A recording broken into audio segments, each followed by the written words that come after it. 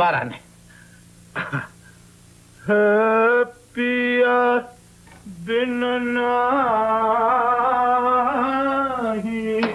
आवत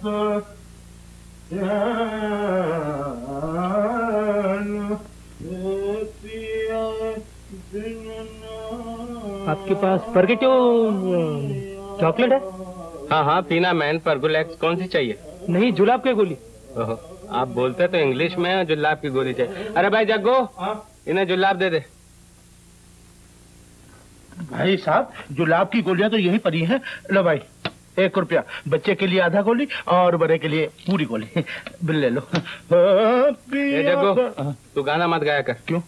अगर तेरे गाने के फेर में मैंने किसी को उलट सुलट दवा दे दी हाँ? तो दोनों फांसी पे चढ़ जाएँगे।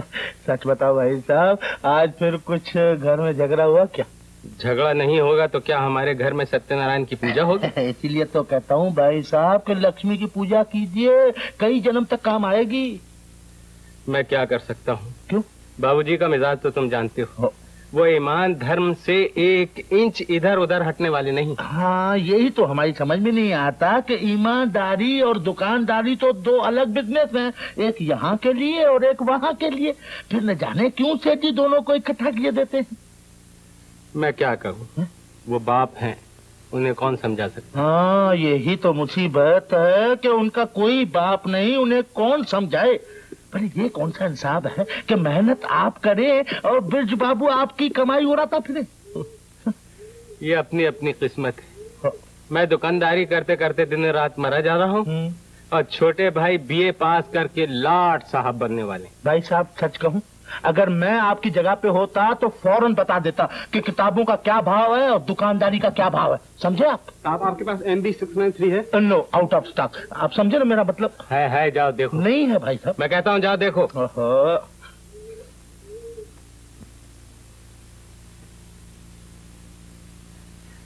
भाई साहब क्या है?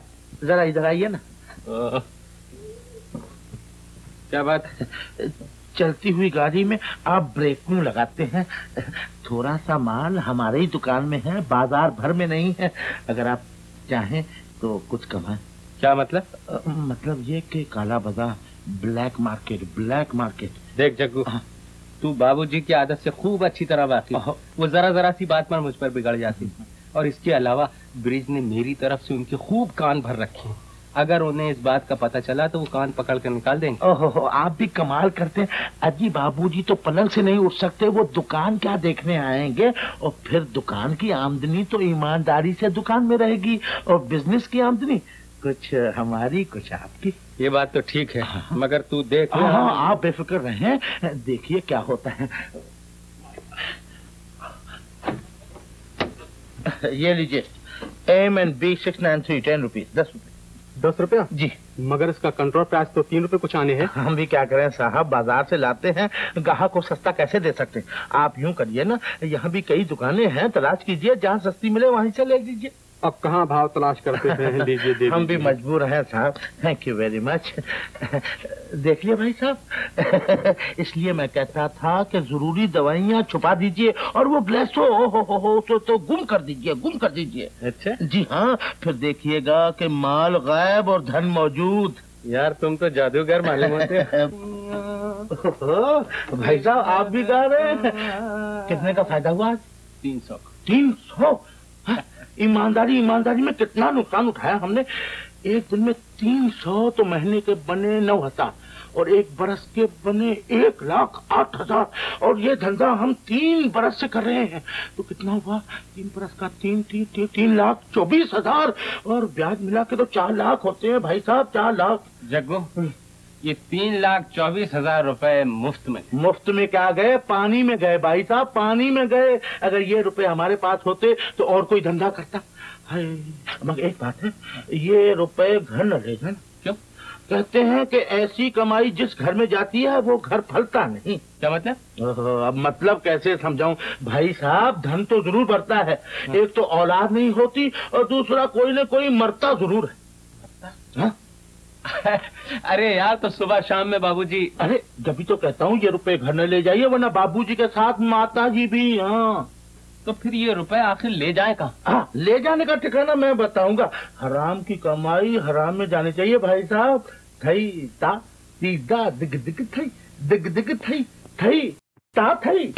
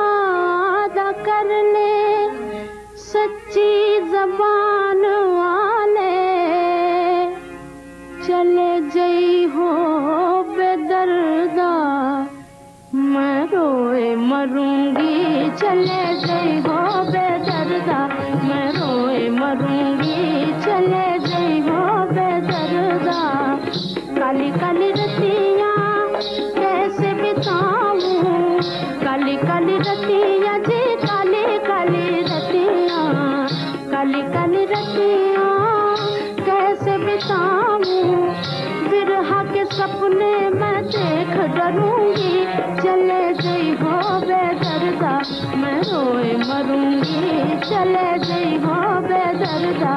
मैं रोए मरूँगी, चले गई हो बेदर्दा।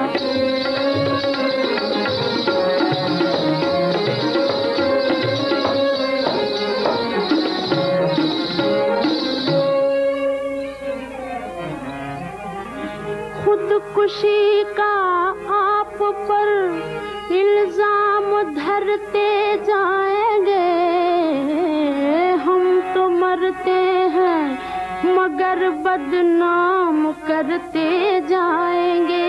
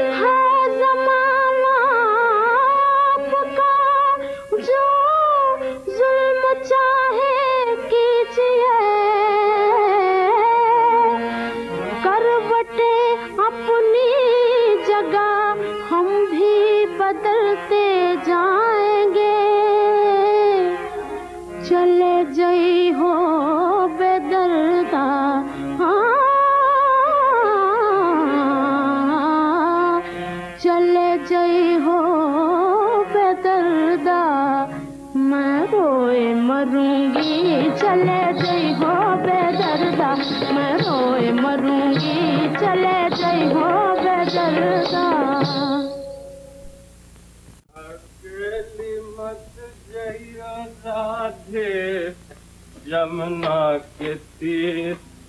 राधे जमुना के तीर के। भला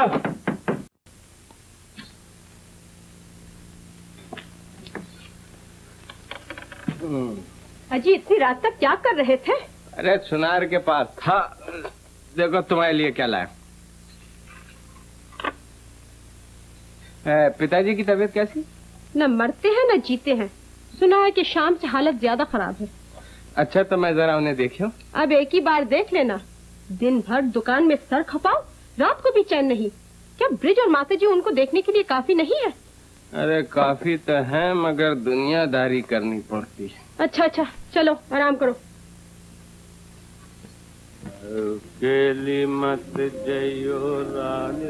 घनश्याम मालूम जी हाँ माता जी। यहाँ आए बिना चले गए? आज देर से आए शायद थके हुए हो ऐसा भी क्या थका होगा जो इन्हें एक नज़र देखने भी नहीं आया?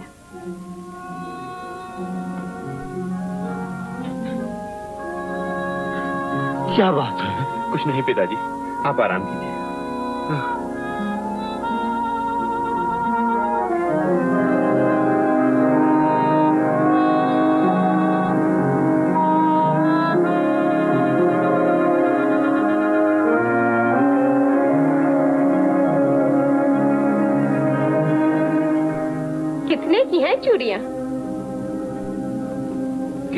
वितने को छोड़ो तुमसे तो साफ़ साफ़ कह दिया ये मुनीम जी की मेहरबानी की है। तो अब जैसे मुनीम जी कहे वैसे ही कीजिए। दुनिया में भले आदमी मुश्किल से मिलते हैं। कहती तो ठीक हो। आज बड़ी देर से आया बेटा। अब तक दुकान में क्या कर रहा था? माता जी मैं दुकान का हिसाब किताब कर रहा। और ये क्या? चूड़िया? नहीं दिखाई दे रही कहाँ से आई? बाज़ार से? और पैसे? पैसे किसी ने चोरी नहीं किए हैं। ये किसने कहा कि तुमने चोरी की? दुकान तुम्हारी, घर तुम्हारा, जिस तरह चाहे खर्च करो। आखिर घुमा फिरा के आपने वही बात कह दी ना? मेरा पहनना ओढ़ना तो आपको कभी भी अच्छा नहीं लगता। आखिर मैं किसी नंगे भूखे घर से तो उठकर नहीं आई हूँ। तुमने तो बेबाक की बात बढ़ा दी बहू। भगवान तुम्हारे मैके वालों को सलामत रखे। मैं तो उनके ख्याल से कह रही थी हिसाब किताब के मामले में वो किसी की परवाह नहीं करते। उन्होंने हम लोगों को अच्छा कब समझा है? आपने हमेशा ही हम लोगों को चोर और बेमान समझा। ये लीजिए चाबी और देख लीजिए। इन चूड़ियों के साथ और कौन कौन सी चीज़ें बेईमानी से बनाई गई है? क्या आप लोग जरा आहिस्ता बातें नहीं कर सकते? घर को मछली बाज़ार बना रखा है। ए लाट साहब तुम जाकर अपनी किताबें संभालो या पिताजी को देखो। तुम्हें हमारे मामलात में दखल देने का कोई हक नहीं। मैं आपके मामले में दखल देने नहीं आया। बल्कि ये याद दिलाने आया हूँ कि पिताजी बीमार है। सुन लिया। क्या तुम लोग चाहते हो कि हम लोग भी बीमार हो जाएँ? आप बड़े मैं आपको क्या समझा सकता हूँ? पिताजी की हालत पर तरस खाने वाला कोई नहीं। अरे बड़ा आया तरस खाने वाला। चल जाए यहाँ से। भैया। क्यों झगड़ते हो? क्यों झगड़ते हो बाबा? अब एक ही बार खूब जी खोलकर झगड़ लेना। बाबूजी बाबूजी आप यहाँ? डॉक्टर ने तो आपको उठ के बैठने के लिए भी मना किया है। ये तुम्ही लोगों की मेहरबानी है भाई। जो उठकर बैठ ना सके उसे तुम लोग यूँ सताते हो। बच्चों के झगड़े में आप अपना दिल क्यों दुखाते हैं? कुछ तो अपनी हालत पे दया कीजिए। मेरे ऐसे बदकिस्मत बाप भी दुनिया में कम होंगे। न चैन से जी सका और न आराम से मर सकता हूँ। बाबूजी किसी का कुछ नहीं बिगड़ेगा। इस तरह गुस्सा करने से आपकी हालत और खतरनाक हो जाएगी। चलिए। 嗯。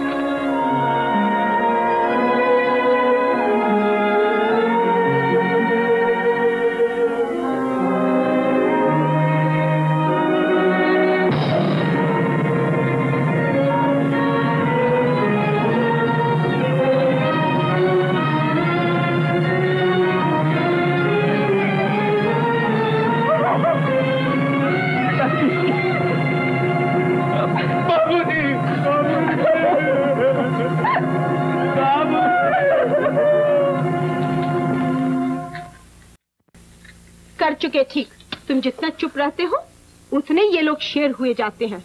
आज माता जी का ऑर्डर हुआ है कि आईना खरीद दो ऐनक वो किस लिए? आँखों से दिखाई नहीं देता। अंधी हुई जा रही है। इतना दुनिया को देख चुकी है फिर भी दिल नहीं भरा है। घनश्याम सुन रहे हो? सारी दुनिया चैन से सो रही है। ये न जाने रात को क्या ढूंढती फिर रही है। नाक में दम कर रखा है। घनश्याम गिर गई। अब चलकर दवा इलाज करो। इन लोगों ने तो मकान को कबड्डी का मैदान बना रखा है। चलो। माता जी माता जी तुम्हें कहीं चोट तो नहीं आई? माता जी जब तुम्हें दिखाई नहीं देता तो फिर रात को इधर उधर क्यों घूमती फिरती हो? दूसरे की नींद खराब करती हो।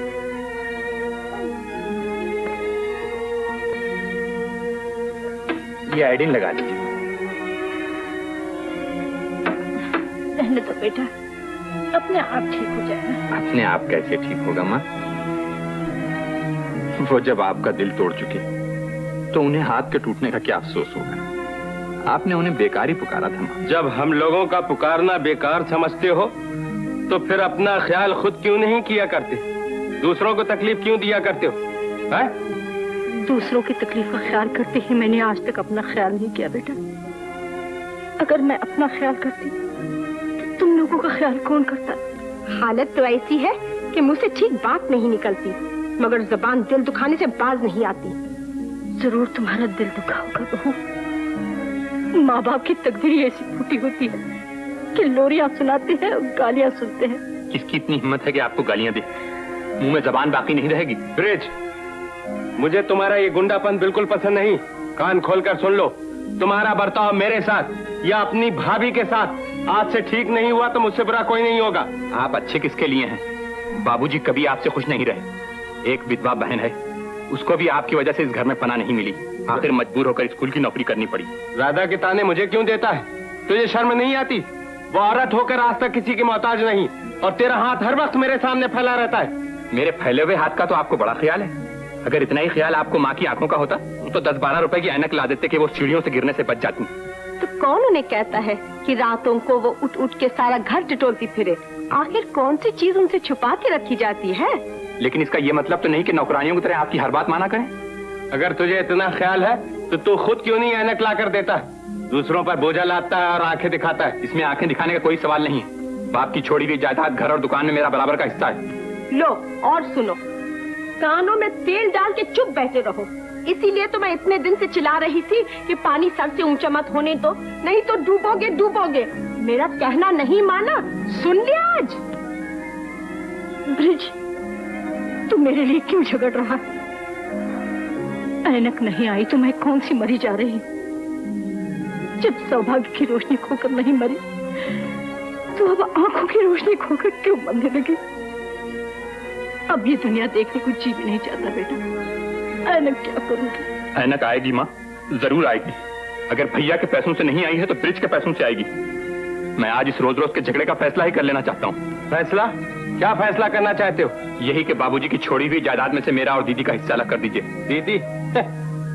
राधा दूसरे के घर गई और पराई हो चुकी। बाबूजी ने उसे जो कुछ देना था वो दे दिया। रह गए तुम। तुमने भी पाँच पाँच सौ हज़ार हज़ार करके सब वसूल कर लिए। अच्छा? तो क्या वही मेरा हिस्सा था? और ये इतना बड़ा मकान और दुकान इसमें मेरा कोई हिस्सा नहीं। मकान? कैसा मकान? सपना देख रहा है? रूई के सट्टे में बाबूजी इतना हार गए थे कि उसी सदमे से उनकी जान गई। परसों मैं तीन लाख रुपए का वलन चुका के आया हूँ। ये मकान मार्गेज है और दुकान घाटे में चल रही। बड़ा आया मकान वाला। क्यों उनकी आत्मा को दुख देता है? चाँद पे धब्बा हो तो हो लेकिन तेरे बाप के दामन पे कोई धब्बा नहीं था। सट्टा और जुआ खेलने वालों का वो मूवी नहीं देखना चाहते थे। क्या ऐप भी कोई ढंडोरा पीट के करता है? वो हारे नहीं तो वलन मैंने कैसे चुकाया? ब्रिज तुमने भी जो कुछ आज तक लिया है वही तुम्हारा हिस्सा है। बस भैया अब आप अपने धर्म ईमान से इतना कह दीजिए कि इन तमाम चीज़ों में मेरी कोई चीज़ नहीं रही। तुम खुद अपने धर्म ईमान से समझ सकते हो कि अब तुम्हारा इन चीज़ों पर कौन सा अधिकार बाकी रह गया है। अगर तुम्हारे हिस्से में कोई चीज़ बाकी है तो वो सिर्फ़ माता जी तुम इन्हें ले जा सकते हो। घनश्याम क्या तू मुझे सिर्फ़ अपने बाप की छोड़ी हुई जायदाद समझता है? मैं तेरी माँ नहीं हूँ। अब इन्हें कुछ न कहिए माता जी मुझे अपना हिस्सा मंजूर है भैया। ब्रिज। माता जी ये तो सिर्फ़ मकान दुकान और कुछ रुपए हैं। अगर बंटवारे में एक तरफ़ सारी दुनिया होती और एक तरफ़ माता जी तो मैं सारी दुनिया को ठुकरा देता और माता जी को सर आँखों पे बिठा लेता। आपकी बड़ी मेहरबानी है भैया। आपने मुझे बड़ा पवित्र हिस्सा दिया। चलिए माता जी।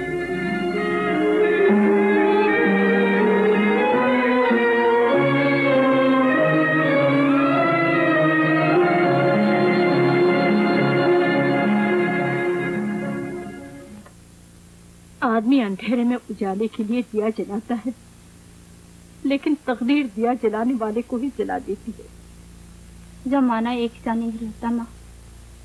बीते हुए दिन याद करके आप क्या करेंगी जैसा आपका वो घर वैसा ये घर। आप परेशान क्यों होती हैं? विधवा बेटी के यहाँ पड़ी रहने में मुझे खुद शर्म आती है बेटा।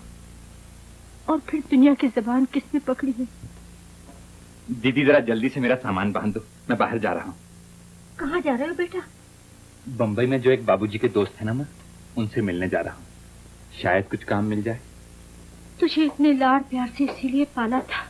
कि आज तो हमारे लिए दुनिया के ठोकरें खाए। बगैर ठोकरें खाए तो कोई नहीं संभलता। शायद इन ठोकरों से मेरी तकदीर सीधी हो जाए। अब आज्ञा दीजिए। लेकिन जल्दी वापस आना भैया। जमाना खराब है और अब मेरा कोई नहीं। आप इतमान रखिए। मैं जल्दी आऊँ। नमस्ते। भगवान तेरी मदद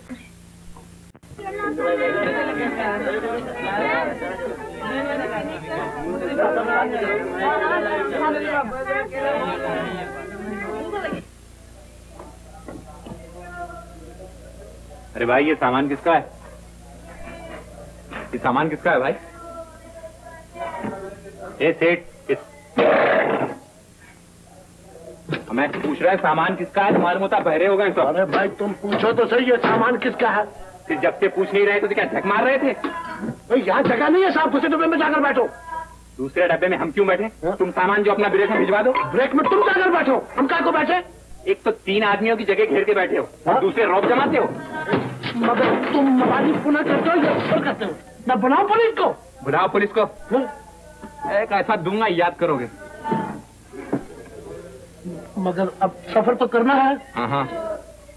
बीड़ी बीड़ी पियोगे नहीं नहीं। जरा हमारी जगह का ख्याल रखना। हाँ हाँ कोई बात नहीं जाइए आप। एक पैकेट गोल्ड फ्लैग देना उस्ताद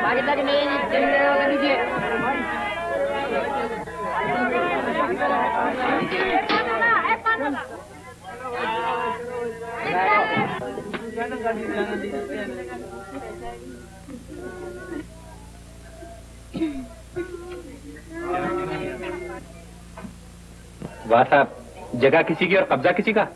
जरा उठिए साहब। जरा माफ़ कीजिए कोई दूसरी जगह ढूंढिए। परेशान मत कीजिए। देखिए यही जगह अपने से चौगने आदमी को हटाने के बाद मिली है। आप चाहती हैं मैं फिर किसी से झगड़ा करूँ?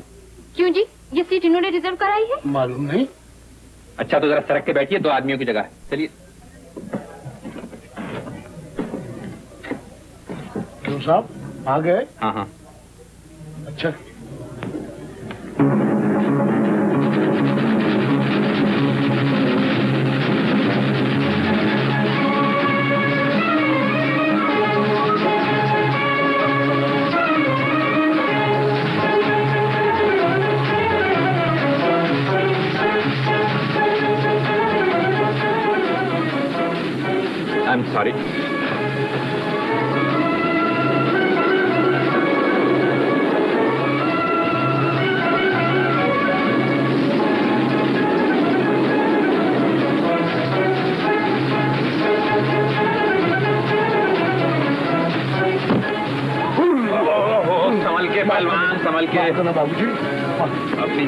जगह पे बैठो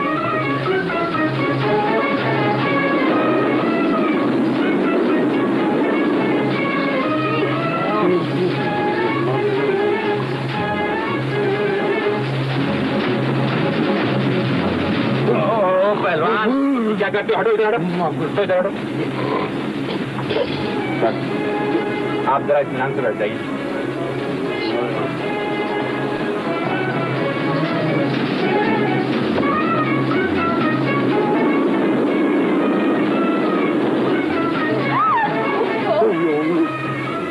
क्या करते हो यार?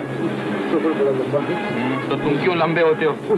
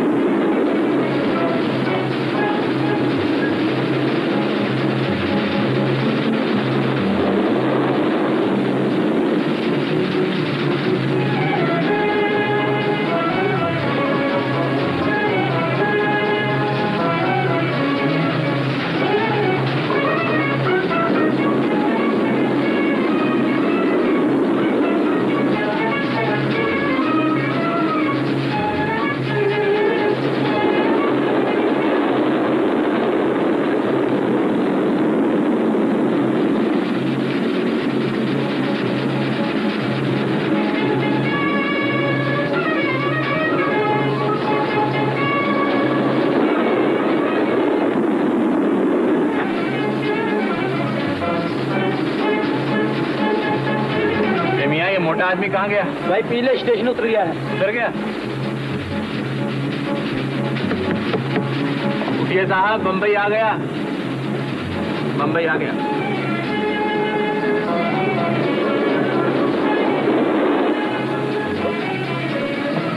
क्या हुआ? मेरा पर्स नहीं मिल रहा जरा देखिए तो। हटिए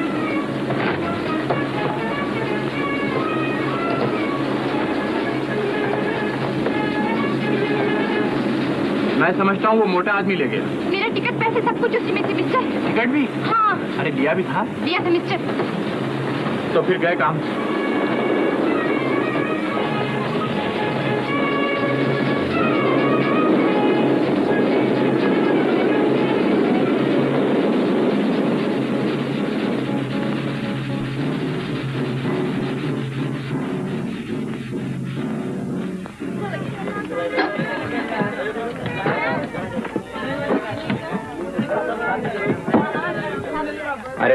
क्या सोच रही हैं चलिए। उससे साफ़ साफ़ कह देना कि टिकट खो गया। लेकिन मैं तो कह दूँगी कि टिकट खो गया मगर टिकट चेकर कब मानेगा? तो उसे घर का पता बता दीजिए वो घर से पैसे वसूल कर लेगा ये भी मुश्किल है। अच्छा साहब तो आप जानिए और आपका काम।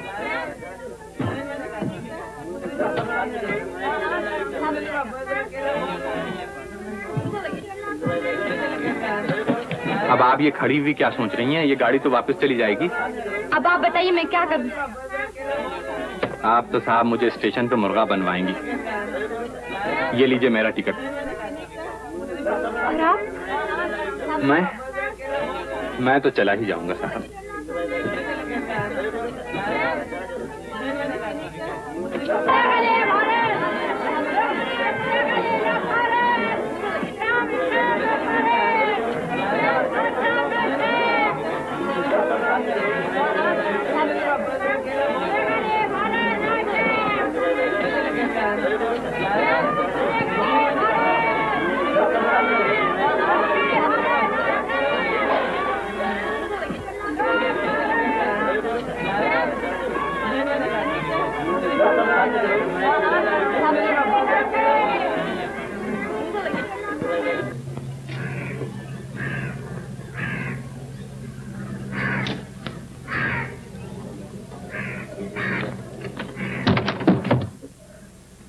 नमस्ते। है? नमस्ते। ये देखा आपने? जी। जा कहाँ रही हैं आप? क्या है? जरा मेरे साथ चलिए आइए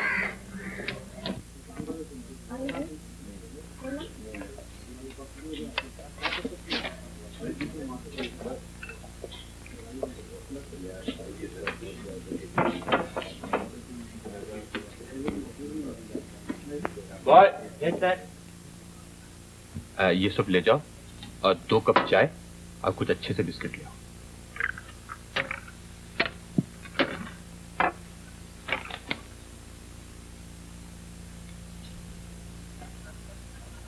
हाँ सर पहले ये तो बताइए कि आपका नाम क्या है? मैं नाम तो नहीं बताऊँगी।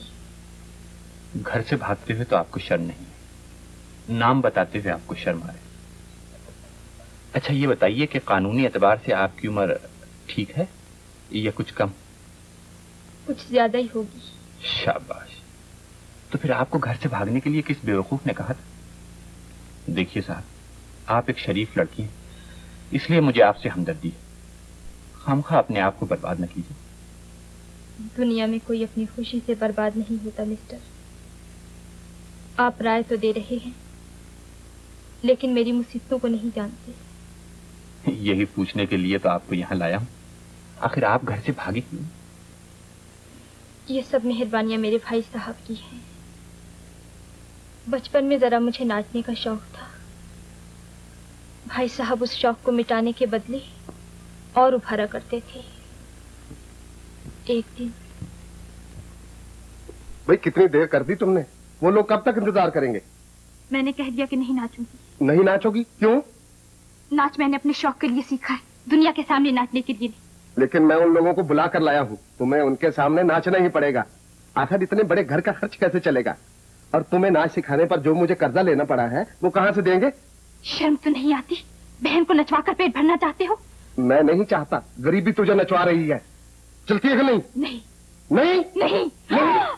तो। अगर मुझे भूखा ही मरना है तो तेरा गला घूट कर मरूँगा। चलती है कि नहीं? बोल। बोल। अच्छा।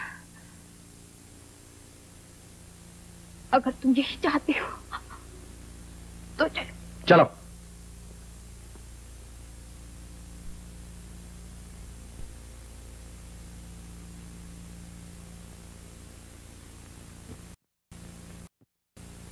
Thank mm -hmm. you.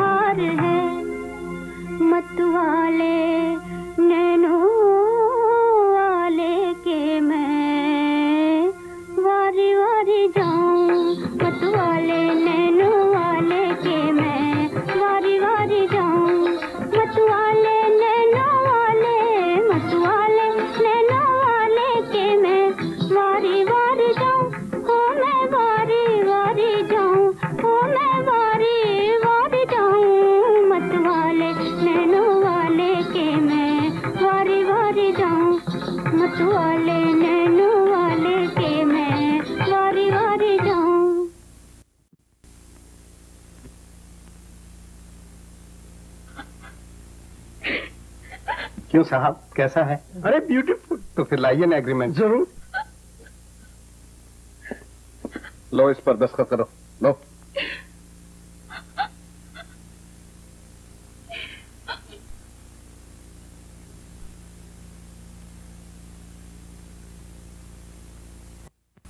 और उसके बाद में ये घर छोड़ने के सिवा और कोई रास्ता नहीं। पुलिस में खबर कर देती घर से भागने की क्या ज़रूरत? पुलिस में कैसे खबर कर देती वो हज़ार बुरा सही। फिर भी मेरा भाई है। हाँ साहब यही तो मुसीबत है। आदमी दूसरों को सब कुछ समझाता है लेकिन जब उस पर वक्त पड़ता है तो वो कुछ नहीं कर सकता। आ, आप यहाँ ठहरी कहाँ? एक सहेली के पास आई थी। मेरी बदकिस्मती से वो भी मर चुकी। और मुझे खुद नहीं मालूम कि दुनिया में मेरे लिए कौन सी जगह है। आजकल दुनिया भी कुछ अजीब गोलमोल हो गई। कोई नहीं जानता कि उसकी जगह कहाँ।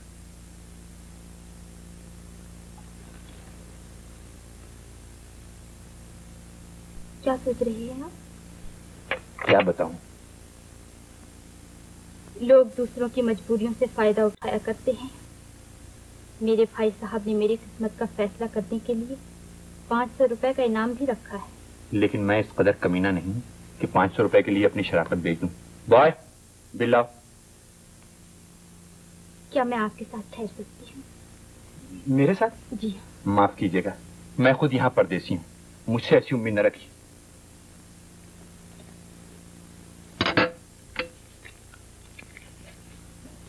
Keep the change.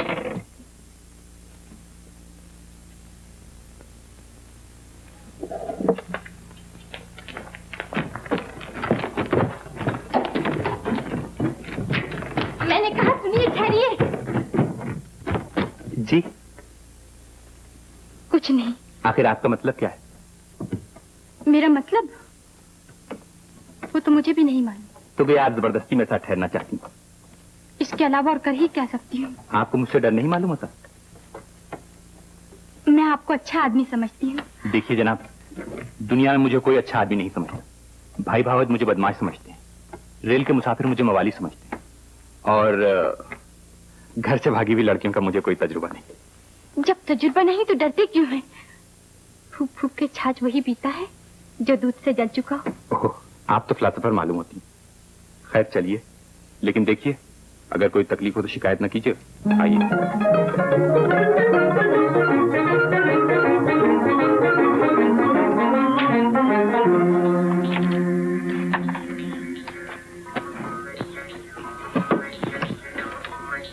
क्या कर रहे हैं आप? हाँ? हैं? जनाब अगर आदमी कोई बेवकूफ़ी करे तो उसको निभाने के लिए उसे लगातार बेवकूफियाँ करनी पड़ती हैं। लेकिन इस तरह होटल के लोग क्या समझेंगे? मैं होटल के लोगों का ख्याल करूँ या अपने आराम का? क्यों? मेरी वजह से कोई तकलीफ़ हुई आपको? देखिए जनाब जागने की बात और थी सोने का किस्सा और है। ये तो रोज ही की मुसीबत होगी। जी हाँ यही तो रोना है। खैर सो जाइए। Good night. देखिए अगर आपको कुछ कपड़े वपड़े चेंज करने हैं तो मेरा सूटकेस नीचे रखा।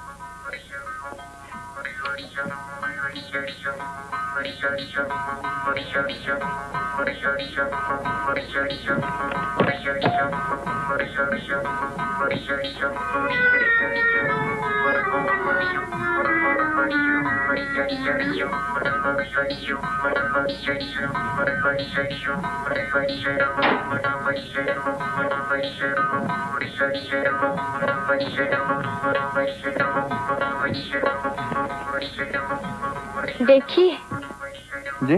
जरा मेहरबानी करके बत्ती बंद कर दीजिए। क्यों? ओहो अजीब मुसीबत है साहब।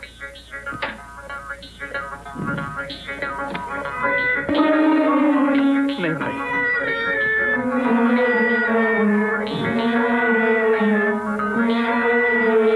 मैंने कहा जरा दरवाज़ा बंद कर लीजिए। अजी साहब जरा दरवाज़ा बंद कर लीजिए। दरवाज़ा तो बंद है। मैं बाहर जा रहा हूँ फिर बंद कर लीजिए। इसलिए क्यों? साहब यहाँ तो गर्मी बहुत है। Thank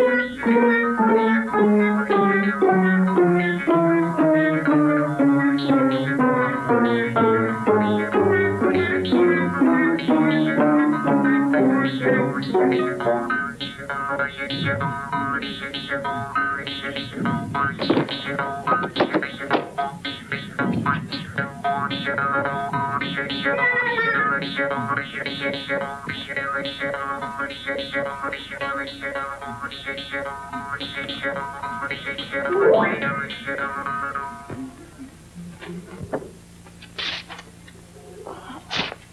कहिए साहब।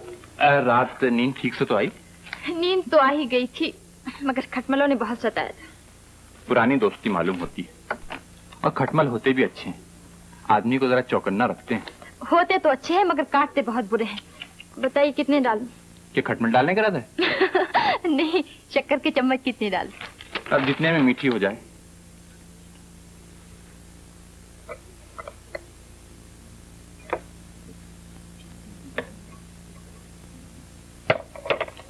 लीजिए शुक्रिया शुक्रिया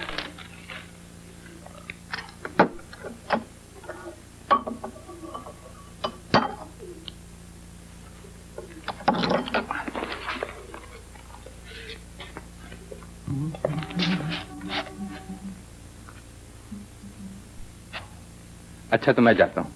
मुझे एक आदमी से काम के बारे में मिलना है। अच्छा जाइए। भगवान करे आप कामयाब लौटें।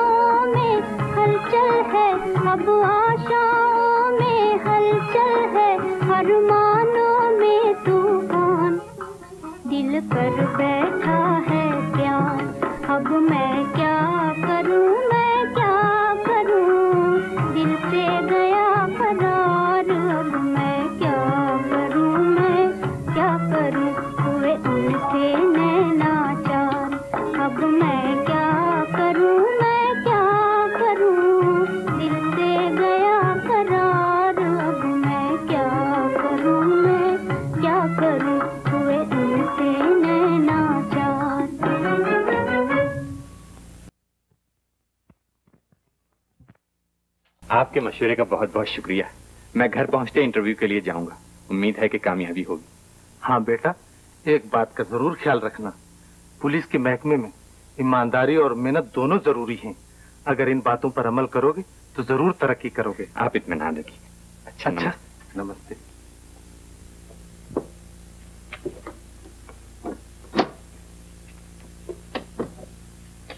क्यों? कुछ काम बना क्या? उम्मीद तो है बन जाएगा। देखिए अगर आपको तकलीफ़ ना हो तो जरा मेरे कपड़े अटैची में रख दीजिए। मैं जा रहा हूँ। कहा? घर। और घर जाते ही मुझे नौकरी मिल जाएगी। अरे ये आपको क्या हुआ? कुछ नहीं। एक गोली एस्प्रो की खा लीजिए। ठीक हो जाएगी आपकी तबीयत। गम इतने खाने पड़ रहे हैं कि दवाओं की ज़रूरत नहीं। गम? काहे का गम? ओहो गुजरी हुई बातों की याद नहीं करते उषा दीदी ठीक कहते हैं।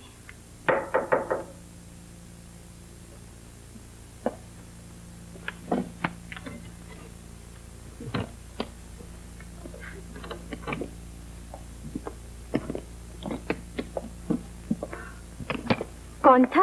होटल वाला था। मैंने उससे बिल मंगवाया था। देखिए, जालिम ने दो दिन के साठ रुपए लगाए हैं। हालाँकि हम एक ही दिन रहे। इतने पैसे हैं भी या नहीं एक दो तीन चार पाँच। लीजिए यहाँ तो सिर्फ़ पचास ही रुपए हैं। आपके पास कुछ पैसे हैं? मेरे पास? मेरे पास तो कुछ भी नहीं। कुछ भी नहीं? तो फिर अब आपका क्या होगा? आप यहाँ कैसे रहेंगी? आप भला मेरे लिए क्यों सोच रहे हैं? आपको मेरे भले बुरे से क्या काम? आप धूप की तरह आए थे और साया बन के जा रहे हैं। मेरी फ़िक्र न कीजिए। यही तो मुश्किल है। आपके लिए न सोचूं तो दिल नहीं मानता। आप मेरे साथ क्यों नहीं चलती? कहा? मेरे घर? लेकिन उस शहर में मेरा भाई जो रहता है। तो आपका भाई क्या बिगाड़ेगा? हम शादी कर लेंगे? हैं? शादी?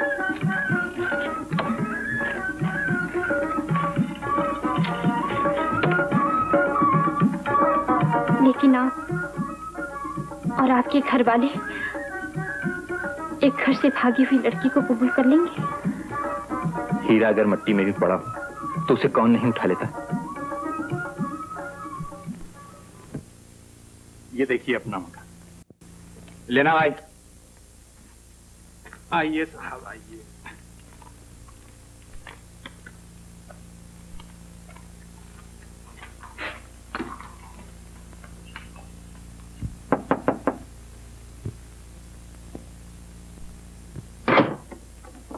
ब्रिज आ गए बेटा। नमस्ते माँ। खुश रहो।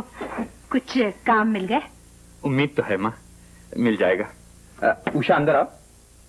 अंदर आओ। ये मेरी माँ। नमस्ते। ये कौन है बेटा? ये उषा है माँ। इनके रूप से अंधेरी रात की सुबह हो जाती है। आइए बैठिए। अरे तेरा सामान कहाँ है? अब तो कुछ और ही सामान है माँ। पुराना सामान तो होटल में छोड़ आया हूँ। बिल अदा करने के लिए रुपए नहीं थे। तो सामान छोड़ा है? हाँ। अच्छा लड़का है। अच्छा जा तू नहा ले। बहुत थका हुआ है। आप बैठिए मैं आपके लिए चाय बनवाती हूँ। नहीं नहीं आप क्यों तकलीफ़ करती हैं? मैं आपको सुख देने आई हूँ। तकलीफ़ देने थोड़े? इसमें तकलीफ़ की कौन सी बात है? आप बैठिए मैं अभी आती हूँ। पहले पहले आप आई हैं हमारे यहाँ बैठिए माताजी बेचारी पुराने जमाने की सीधी सादी औरत है। वो इशारों की बातें क्या जाने? मैं उन्हें जाके अभी समझा देता हूँ।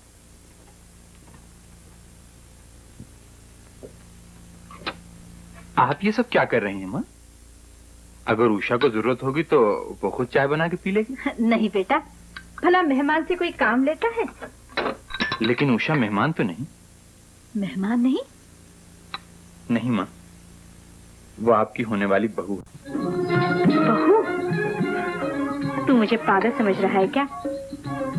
माँ के दिल को आजमा रहा है। नहीं माँ अपना मुकद्दर आजमा रहा हूँ। ब्रिज।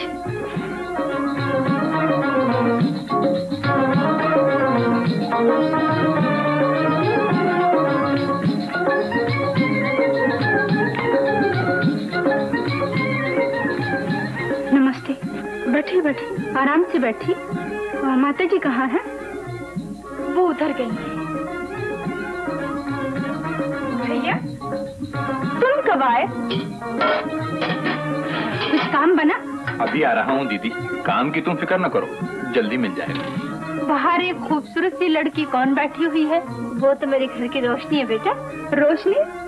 हाँ, मालूम पड़ता है अब मुझे अपने घर से बिजली का कनेक्शन कटवाना पड़ेगा। लो भाई यहाँ झगड़े का बंदोबस्त शुरू कर दिया तुमने।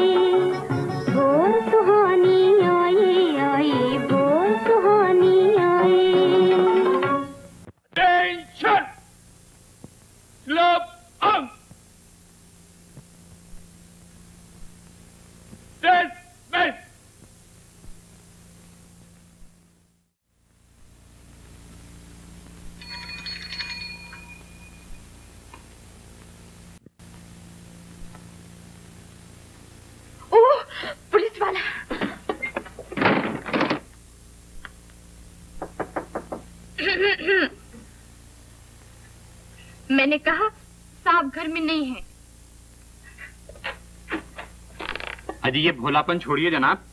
मैं आज बहुत थक गया हूँ। जरा दरवाज़ा खोलिए।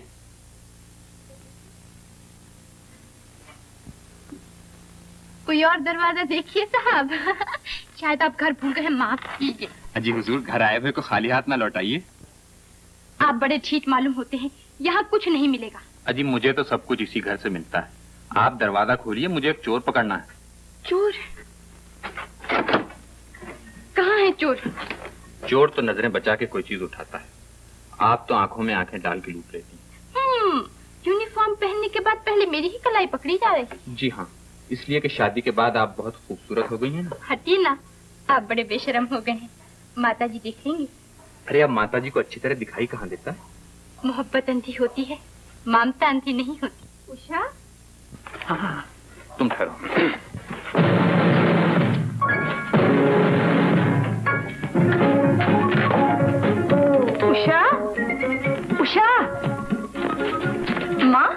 ये आपको सल्यूट कर रहे हैं।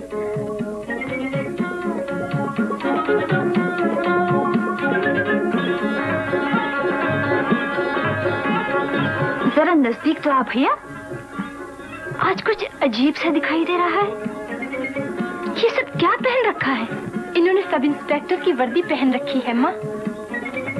चोरों को पकड़ते फिर रहे हैं। ओह तो आज से तो दरोगा बनाए हाँ? हाँ माँ। खुश रहो। फूलो फलो। आप तो खुश है ना माँ? आप बोलती क्यों नहीं? ज़ुबान आँखों का साथ नहीं देती बेटा। भगवान ऐसा करते कि आज तुझे अच्छी तरह देखने को मेरी जाती हुई आँखें मिल जाती। और फिर चाहे मैं जन्म भर के लिए अंधी हो जाती। ऐसा ना कहो माँ। जब दिन का उजाला नहीं रहने पाता तो रात का अंधेरा कब तक रहेगा? मैं डॉक्टर से अपॉइंटमेंट लेकर आ रहा हूँ। कल सुबह आपको ले चलूँगा।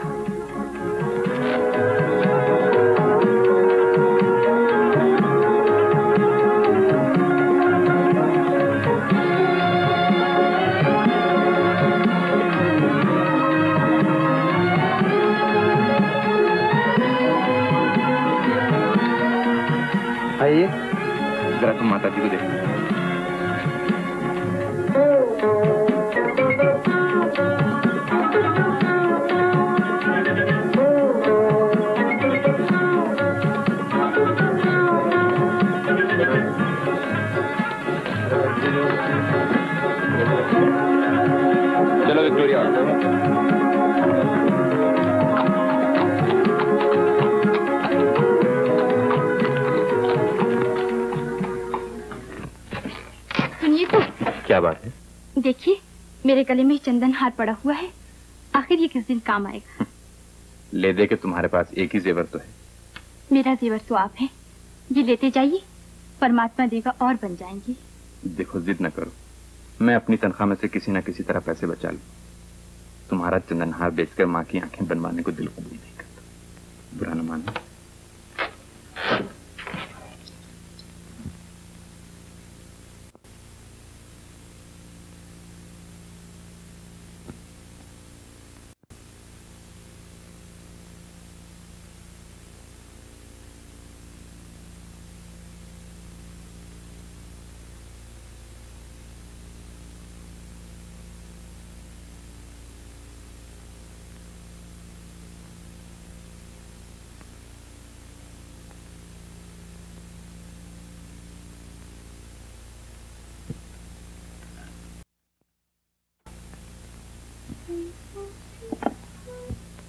उषा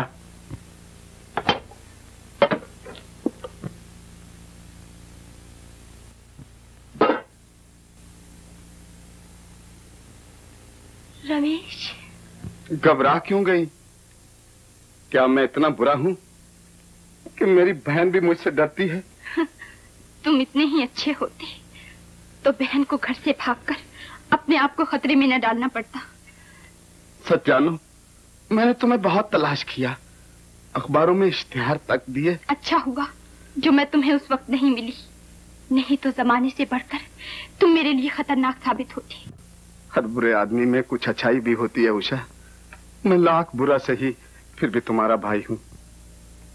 तुम्हें भाई कहते हुए शर्म आती है। मैं हाथ जोड़ती हूँ। यहाँ आकर मेरी सुख भरी ज़िंदगी में तूफ़ान ना उठाओ। मैं खुद यही समझता हूँ कि मेरा यहाँ आना हम दोनों के लिए ठीक नहीं। तुमने शायद इस सब इंस्पेक्टर से शादी कर ली है। हाँ उन्होंने मुझे दुनिया की ठोकरों में आकर मिट जाने से बचा लिया है। वो मेरे पति है। परमात्मा तुम्हारे सुहाग को सलामत रखे। मैं कितना बदकिस्मत हूँ। न जहेज देकर तुम्हें घर से रुखसत कर सका न तुम्हारे पति को सलामी ही दे सका। उल्टा मेरा हाथ तुम्हारे आगे फैला हुआ है। क्या चाहते हो तुम? बस इतनी मदद कर दो कि मुझे खुदकुशी न करनी पड़े। उषा आई माता जी उषा! कितने पैसे चाहिए तुम्हें? मेरे पास खुद पैसे कम हैं। सब इंस्पेक्टर के घर में पैसों की कमी। ये हार दे दो।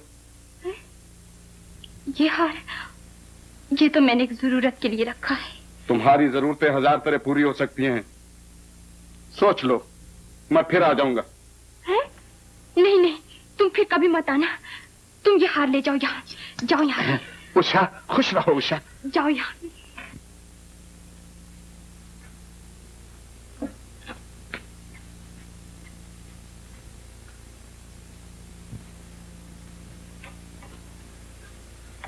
कौन था बहू? एक भिखारी था माता जी भिखारी से बड़ी लंबी बातें कर रही थी तुम। बहुत दुखी होगा बेचारा। हाँ माँ। परमात्मा ने उसे इंसान का रूप दिया लेकिन इंसानियत नहीं दी।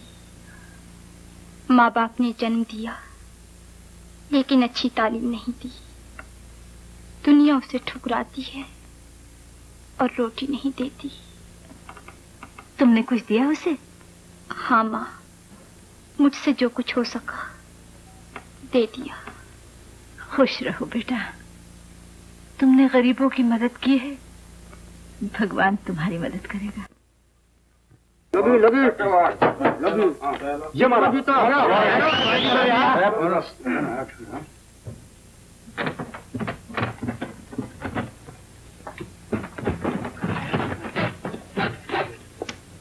बैठिए। खेल तो नकद होता है नगद है नगद। बैठिए। बारह रुपया कौन है बे लड़का तो नहीं बकरा है बकरा दादा क्या नीचे पुलिस पुलिस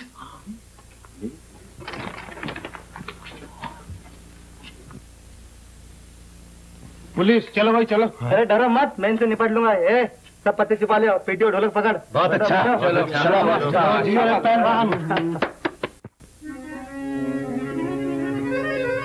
हाँ खबर किसी को नहीं। वो किधर को देखते हैं? ये कौन जाने के दिल या जिगर को देखते हैं? नज़र बचा के हम उनकी नज़र को देखते हैं। नज़र बचा के हम उनकी नज़र को देखते हैं। जो बेखबर है, उसी बेखबर को देखते हैं। दुआएँ मांग रहे।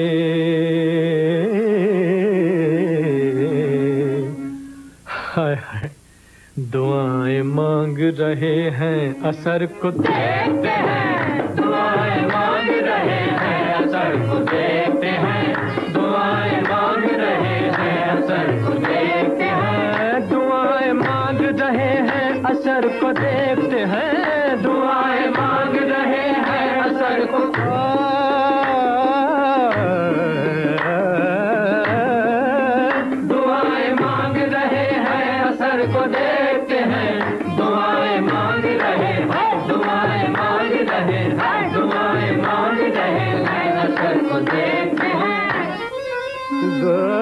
सुना है उनको भी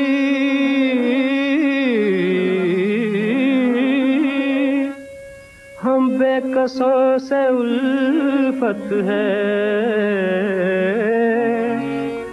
कोई बताओ के कैसी हमारी किस्मत है। धड़क रहा है दिल अपनी अजीब हालत है। वो घर में हमारे खुदा की कुदरत है। कभी हम उनको ओ,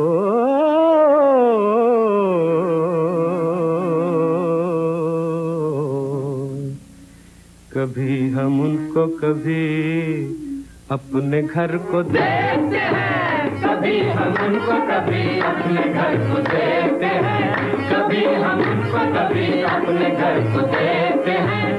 कभी हम उनको, कभी अपने घर को देते हैं। कभी हम उनको, कभी अपने घर को।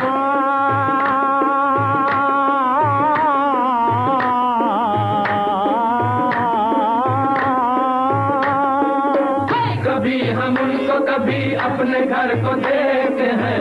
कभी हम उनको, कभी हाय कभी हम उनको, कभी हाय कभी हम उनको, कभी अपने घर को देते हैं। अज ये इश्क देखिए, क्या दिन दिखाने वाला है? ज़रूर कोई नया गुल खिलाने वाला है। चमन से और कहीं लेके जाने वाला है। चमन से और कहीं चमन से और कहीं लेके जाने वाला है। चमन से और कहीं लेके जाने वाला है। हाँ, जवाब खत का मेरे आज आने वाला है। अरे भाई ज़रूर आएगा। कभी घड़ी को कभी घड़ी को कभी नाम बर को देखते हैं। कभी घड़ी को कभी नाम बर को देखते हैं। कभी घड़ी को कभी नाम बर को देखते हैं। हाँ, कभी घड़ी को कभी नाम बर को देखते हैं। कभी घड़ी को कभी नाम बर को। कभी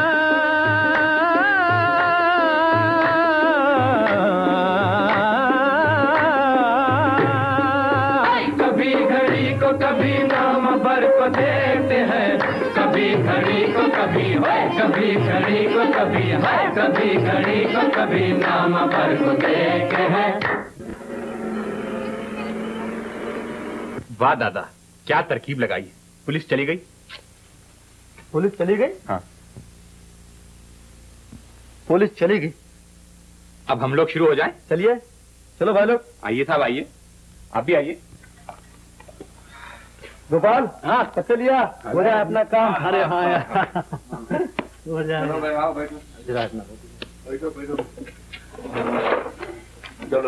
पाँच रुपया पाँच दादा बादशाह बीस रुपए। लगी। दस रुपए और। पहचाना पहलवान। अच्छी तरह।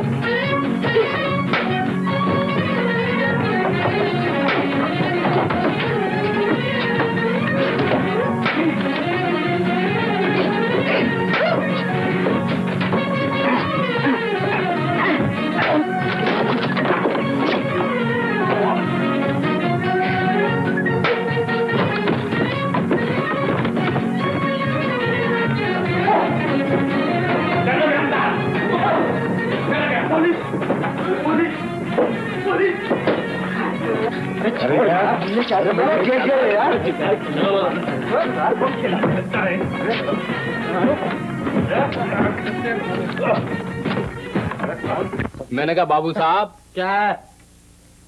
ग्लूकोस है? नहीं आउट ऑफ़ स्टॉक अरे साहब मैं पिछले हफ़्ते आपसे लेके गया हूँ। आप लगे? जी हाँ। तो सुनिए साहब तीन डिब्बे हैं ग्यारह रुपया फ़ी डिब्बा। अरे साहब पिछले वक्त भी आपने ज़्यादा भाव दिया था। और कंट्रोल प्राइस तो दो रुपया बारह ना है। आप कंट्रोल प्राइस क्यों सुनाते हैं? दस रुपए की खरीदी है मेरी। आपको लेना तो ले जाइए ना चले जाइए। अरे साहब इस वक्त तो ग्यारह रुपए नहीं है। तो बाद में ले जाना। खैर मैं लेके आता हूँ। आँखें क्यों दिखा अरे साहब आँखें कहाँ दिखा रहा हूँ? मैं तो पैसे लेने जा रहा हूँ तो जाइए ना। अच्छी बात। माल लेते हो मज़ाक करते हो?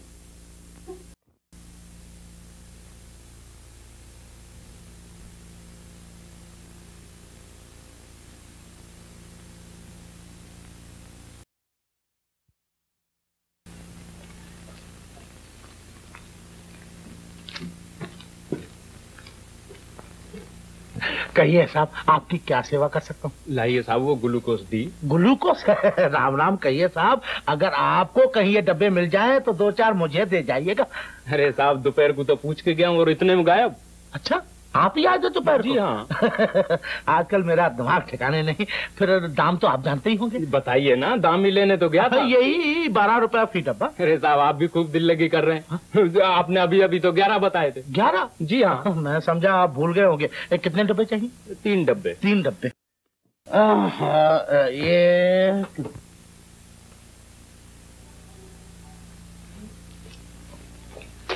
लाइए तैतीस रुपए। और ये ये लीजिए। पीछे दरवाजे से जाना। जी हाँ वो तो मुझे अच्छी तरह मालूम। दीवारों को भी काम है चाहिए चाहिए ना। ओह बिज बाबू आप इस वक्त घनश्याम बाबू तो बाहर गए हैं। और रुपए चाहिए? ले जाइए ले जाइए। हाथ तो मेरे भाग खुल गए। हाय। और साथ ही साथ जेल के दरवाजे भी मुनीम जी। क्या क्या क्या, क्या, क्या कहा? मैंने कहा अब आपके लिए जेल के दरवाजे भी खुल गए जेल के मेरे लिए? ब्रज बाबू चलिए ब्रज बाबू आप मुझ बेकसूर को क्यों जेल भिजवा रहे हैं? मैं तो आपको अपने पिता समान समझता हूँ ब्रज बाबू। का फैसला अदालत करेगी मुनीम जी चलिए। आप कुछ नहीं कर सकते ब्रज बिल्कुल बाबू। आप कुछ नहीं बिल्कुल नहीं चलिए। मुझ गरीब पर दया की कुछ मुझ गरीब पर दया की जमी मुलजिम जगदम्बे इस्तकाजा के बयान और गवाहों की शहादत से तुम पर ब्लैक मार्केट और नफाखोरी का जुर्म साबित हो गया है। इस सिलसिले में अदालत तुम्हें छह माह कैद सख्त और दो हज़ार रूपए जुर्माने की सजा देती है। बसूरत अदम अदायगी जुर्माना दो माह कैद की सजा मजीद। बंदा परवर माफ़ कर दीजिए मैं मर जाऊँगा मेरे बीवी बच्चे भूखे मरेंगे दोबारा नहीं करूँगा तोहफा मुलजिम घनश्याम दास अदालत तुम्हें इन्हीं जराइम में मदद करने के सिलसिले में एक हज़ार रुपए जुर्माना और दो दिन कैद की सजा देती है। बसूरत अदम अदायगी ये जुर्माना एक महीना कैद मजीद।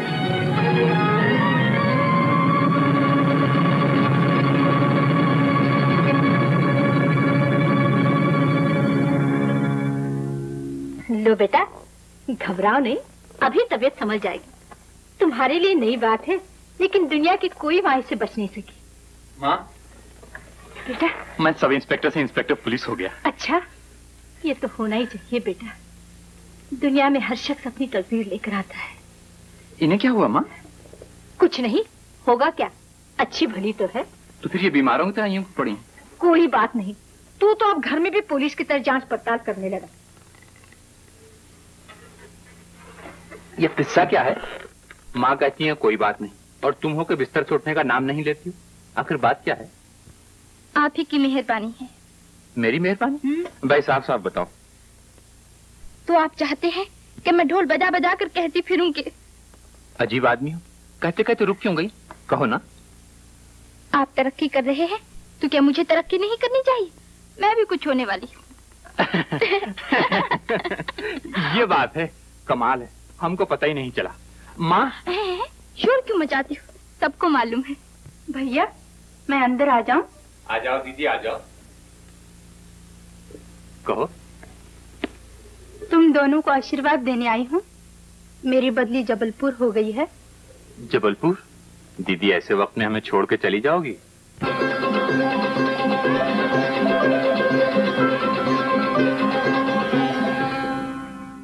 सजा दो दिन की हो या छह महीने की। लेकिन उसने हम दोनों की इज़्ज़त पर पानी तो फेर दिया। भाई साहब मेरी बात न करो। मैं शिमले न गया नैनीताल न गया जेल चला गया। रोना तो आपकी इज़्ज़त का है। अब रोने धोने से काम ना चलेगा। सोचना तो ये है कि हम दो चार शरीफ आदमी की पगड़ियाँ ना उछल ना पाए जिस तरह उसने हम दोनों के हाथ में हथकड़ी पहनाई जब तक मैं उसके हाथ में हथकड़ी न पहना दूँगा मेरे दिल को चैन नहीं आएगा। इतना बड़ा दिल डाल लिए फिरते हो जरा इस खोपड़ी से कुछ तरकीब निकालो। जरा इस खोपड़ी से कोई तरकीब निकालो। अरे मैम साहब ये खोपड़ी है कोई मशीन नहीं कि इकनी डाली और टिकट निकल आया। हाँ समझी? भाई साहब खूब याद आया। एक भंगी मेरा दोस्त है कहो तो उसे पिटवा दू?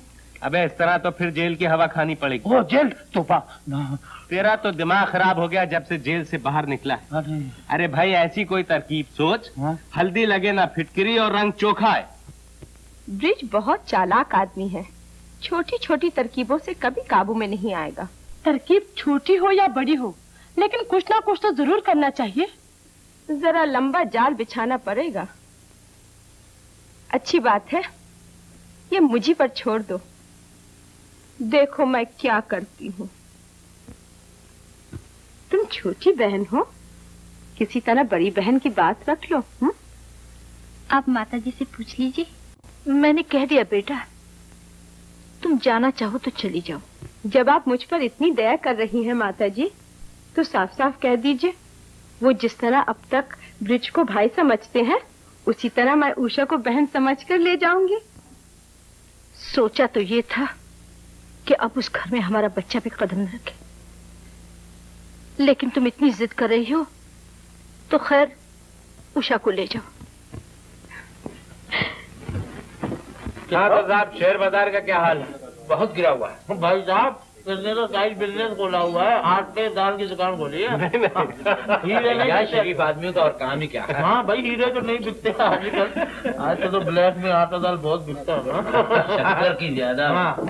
मान लो मैं कहूँ कुल्चे की दुकान खोलो। उषा ये तुम्हारे जेठ हैं। ये हमारी देवरानी है। इंस्पेक्टर साहब की पत्नी। क्या चंद्रमा की तरह निखरी सुतरी और फूलों की तरह हंसमुख। नमस्ते आइए तशरीफ़ रखिए। आइए। अरे उषा अरे मंगला तुम? ये भी एक रही। ऐसी गुम हुई शादी के बाद मिली। अच्छा। तो पुरानी जान पहचान है? जी हाँ डांसिंग स्कूल में दोनों साथ ही सीखते थे। हाँ तो फिर मज़ा आ गया। आज इनकी वजह आप अपना हाथ दिखाइए। माफ़ कीजिए मैं नाचूँगी नहीं। नाचोगी नहीं? इसमें हर्जी क्या है? देखिए ना सब बेचारे इंतज़ार कर रहे हैं। हाँ हाँ नाचो। खैर आप लोग जिद करते हैं तो मैं गाना सुना दूँगी। नाचेंगी आप। तुम क्यों नहीं नाचते? डॉक्टर ने मना किया है। अच्छा। तो आप लोग मजबूर ना करें। खाइए आप लोग चाय हाँ। पी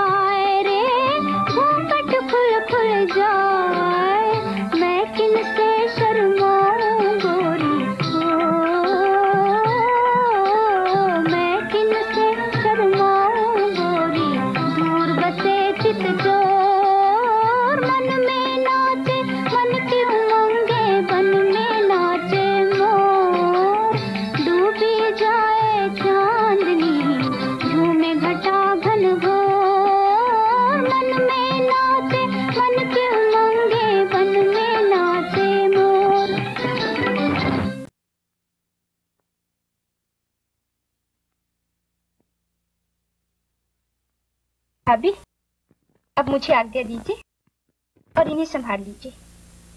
हम्म क्या कर रही हो? ये उतारने के लिए तो नहीं पहनाए थे। फिर? ये मुझसे ज़्यादा तुम्हें सचते हैं उषा। और सच पूछो तो यही तुम्हारे बनाओ सिंगार के दिन है। तुम्हारे बदन पर कोई जेवर नहीं। तुम इन्हें मेरी तरफ़ से कबूल कर लो। नहीं नहीं भाभी ये कभी नहीं होगा। चाँद सूरज से रोशनी लेता है तो सुबह को उसे वापस कर देता है। इन्हें आप ही रखिए। मैं तुम्हें ये अपनी खुशी से दे रही हूँ। मेरी बात मानो इन्हें साथ लेती जाओ। हुँ? मैं गरीब हूँ। इतने कीमती जेवर पहनूँगी तो सब मुझ पर हंसेंगे। अगर कोई पागल हो जाए तो क्या तुम उसके डर के मारे अपनी अकल से काम लेना छोड़ दोगी? हंसने दो दुनिया तो हंसती ही है। ठीक कहती हैं आप लेकिन गरीब आदमी इतने कीमती जेवर पहने तो उसकी इज़्ज़त नहीं बढ़ती। हाँ जेवरों के दाम ज़रूर कम हो जाते हैं। कम हो या ज़्यादा? इन्हें तो तुम्हें मेरी मामूली सी भेद समझ कर ले जाना ही होगा। मजबूर न कीजिए। एक तो उन्हें मेरे यहाँ आने की खबर नहीं। दूसरे अगर उनकी बगैर इजाज़त मैंने ये जेवर भी ले लिए तो न जाने वो मेरे बारे में क्या सोचेंगे। अच्छी बात है। लेकिन कुछ जेवर वगैरह बनवा कर रखा करो। बुरे वक्त पर कोई काम नहीं आता। यही जेवर काम आते हैं। ठीक कहती हैं आप। देखूँगी मैं। अब आज्ञा दीजिए। अच्छी बात है। नमस्ते। नमस्ते।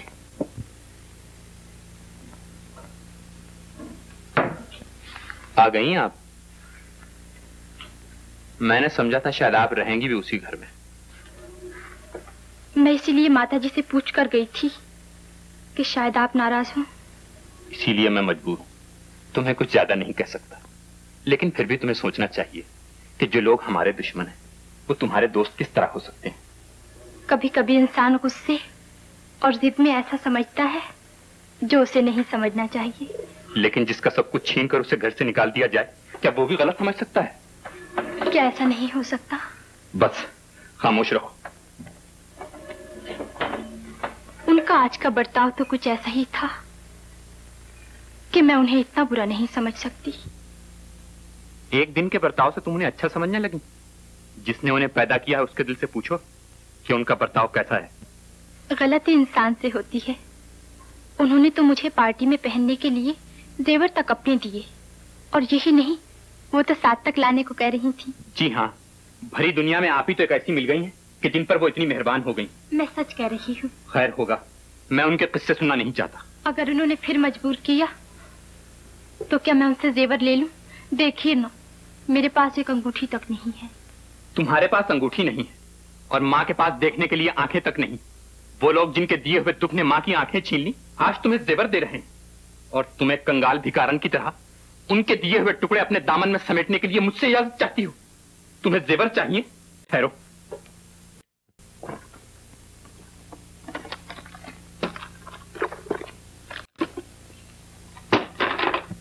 लो ये रुपए। ये मैंने माँ की आँखों के ऑपरेशन के लिए रखे थे। लाओ इनसे अपने लिए जेवर, खरीदो इनसे अपने लिए अंगूठियाँ। ब्रिज ब्रिज, अरे कब तेरा गुस्सा कम होगा? आखिर कभी तुझे समझ भी आएगी? ऐसी हालत में बहू पे बिगड़ रहा है? अरे इन दिनों में तो लोग बहू बेटियों को फूलों की तरह रखते हैं। लो, ये रोने लगी। चुप। अरे मैं तेरी सास नहीं हूँ, माँ ब्रिज डांट दिया करे तो चुपचाप मेरे पास चली आए। वो देखो सामने वाला मकान है। जरा होशियारी से काम करना ये लो। धूप में बाल सफ़ेद नहीं किए हैं। पचास की शादियाँ कराई हैं तो पचास की छोड़ाई हैं। अपना हिसाब किताब बराबर है। ये शादी आदि का मामला नहीं है। ये मामला बड़ा बेढब। हाँ, इसको भी ठप्पर ले आऊँगी। देखते रहना। अच्छा जाओ।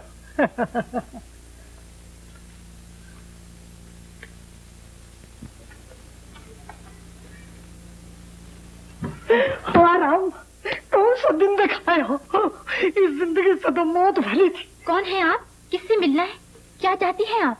मेरा लाल मुझे दे दो बेटा। मुझ बुढ़िया का इसके सिवा कोई सहारा नहीं। मैं तुम्हारी माँ से होकर तुम्हारे सामने अरे अरे, अरे, ये आप क्या कर रही हैं? आप साफ़ साफ़ बताइए ना। मैं आपकी क्या मदद कर सकती हूँ? मेरा बेटा मेरा बेटा बिगड़े हुए लोगों में रहकर बिगड़ गया। वो पकड़ा गया है। तुम इंस्पेक्टर साहब से कह के उसे बचा लो। मैं जब तक जीऊँगी तुम्हारा नाम लेती रहूँगी।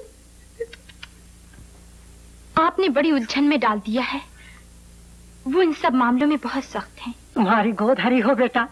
जिसने उन्हें पाला होगा उसकी ममता का वास्ता दे के छुड़ा लो बेटा। मैं कभी तुम्हारा एहसान न भूलूँगी। मैं कहकर देखूँगी। खाली कहने से काम नहीं चलेगा। तुम जरा भी ज़ोर दोगी तो मेरा बिगड़ा नसीब बन जाएगा। ये क्या? मैं तुम्हारे लिए लाई हूँ। कुछ और मत समझ लेना। पहली बार आई थी खाली हाथ आते हुए बुरा मालूम हो रहा था। मैं बेटी समझ के तुम्हें दे रही हूँ। इसकी कोई ज़रूरत नहीं। मैं आपकी मदद करने के लिए उनसे कह दूँगी। वो तुम कहो या न कहो तुम्हारी मर्ज़ी। ये तो मैं अपनी खुशी से लाई हूँ। इसे न वापिस करो बेटा। मदद खरीदी नहीं चाहती न बदला इनाम चाहती है। ये बदला और इनाम नहीं है बेटा। ये तो खुशी का सौदा है। वापस करोगी तो मैं समझूँगी कि तुम्हारे पति ने मुझसे औलाद का सुख छीन लिया और तुमने दिल का सुख छीन लिया। देखिए आप जिद करती हैं तो मैं रख लेती हूँ। मैं उनसे कहूँगी अगर वो मान गए तो ठीक है नहीं तो आपको ये वापस ले जाना होगा। जीती रहो खुश रहो बेटा। तुमने मुझ बुढ़िया की बात रखी है परमात्मा तुम्हारी इज़्ज़त रखे। अरे राम आए आए। आजकल तो आप हर वक्त लोगों को गिरफ़्तार करने की सोचते होंगे। जी हाँ पुलिस में तरक्की करने का तो यही तरीका है। लेकिन मैं इसी बात से डरती हूँ ब्रिज। कि कहीं इस पकड़ धकड़ में लोग तेरे दुश्मन न बन जाएँ। बुरे लोगों से दुश्मनी और भी बुरी होती है। कौन? चलिए मैं देखती हूँ।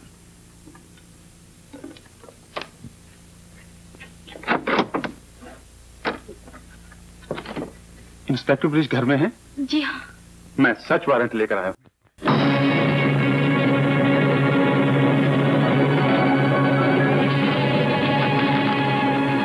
सच वारंट मुझे अफसोस है मिस्टर ब्रिज। आप पर रिश्वत का शुबा है। और इस सिलसिले में मुझे आपके घर की तलाशी लेनी है। ज़रूर तलाशी लीजिए। मुझे यकीन है आपका शुबा गलत साबित होगा। आइए। आओ।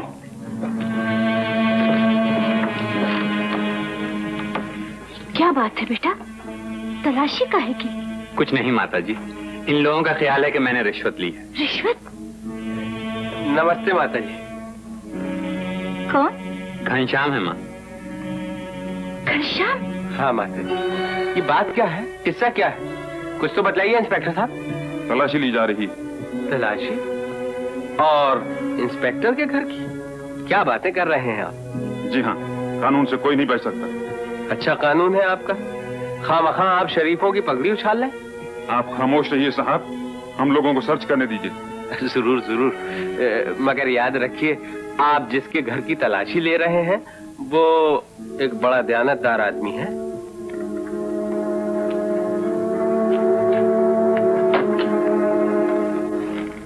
इसकी चाबी दो। इन्हें अलमारी की चाबी दे दो। चाबी? हाँ हाँ दे दो चाबी। इसमें डरने की क्या बात है? नहीं नहीं। मैं कहता हूँ इन्हें चाबी दे दो।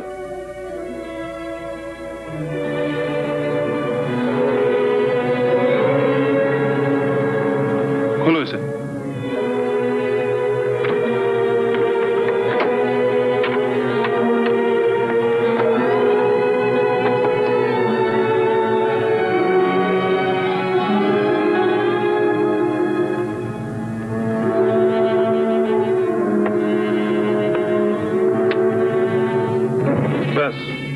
की तलाश थी हमें।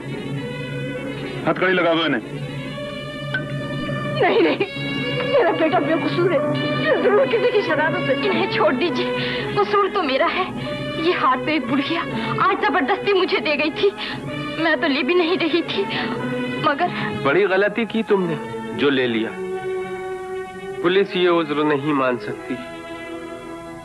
तुमने हम लोगों का सर नीचा कर दिया। उषा अपने जेवरों के लालच में आकर तुमने मुझे हथकड़ियाँ पहना ही दी। मैं तो तुमसे पहले ही कह रहा था कि माँ बला से अंधी रहे तुम अपने जेवर बनवा लो।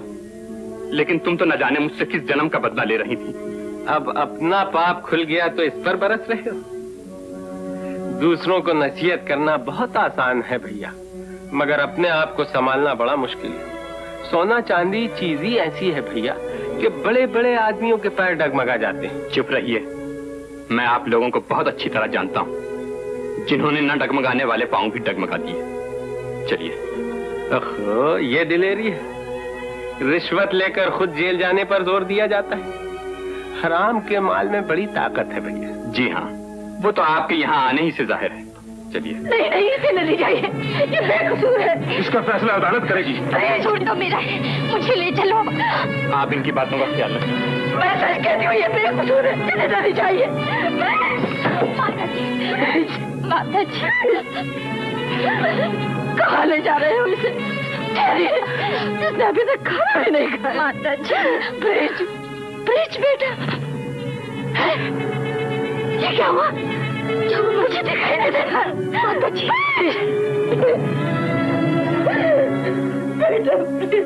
भैया हम बुरे हैं या भले? अब आपके सिवा कौन है जो हमारी मदद करेगा? आप उनके साथ जाइए और किसी तरह छुड़ा लाइए। अंधेरे में तो अपना साया भी साथ छोड़ देता है। मैं माफ़ी चाहता हूँ।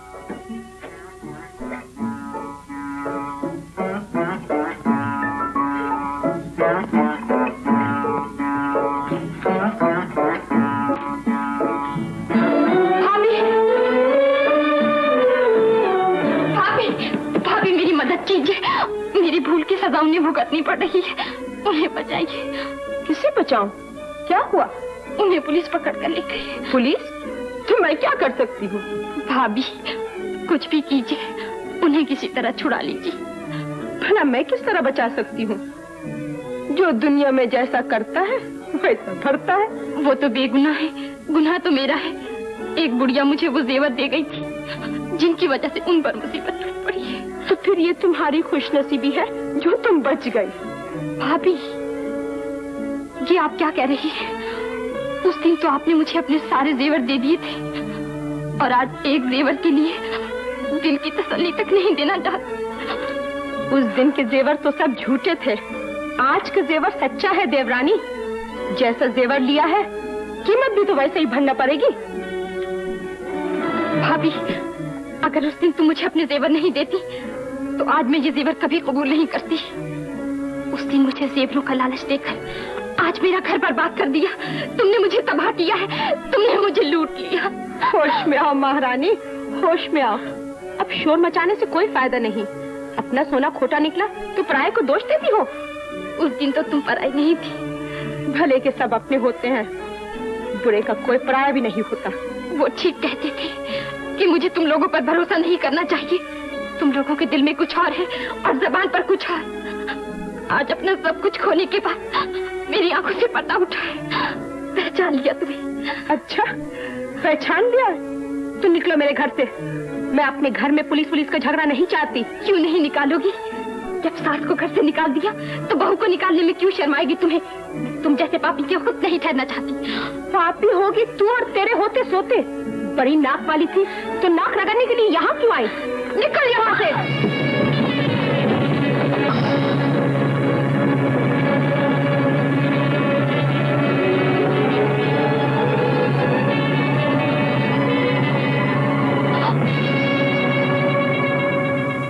जग्गू हाँ?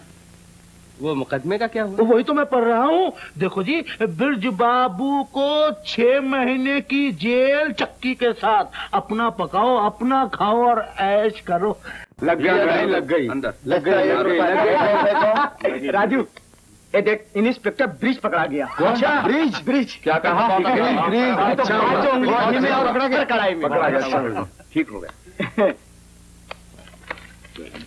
मेरा पता नहीं फिरा भाई। मेरा दाव नहीं लगता।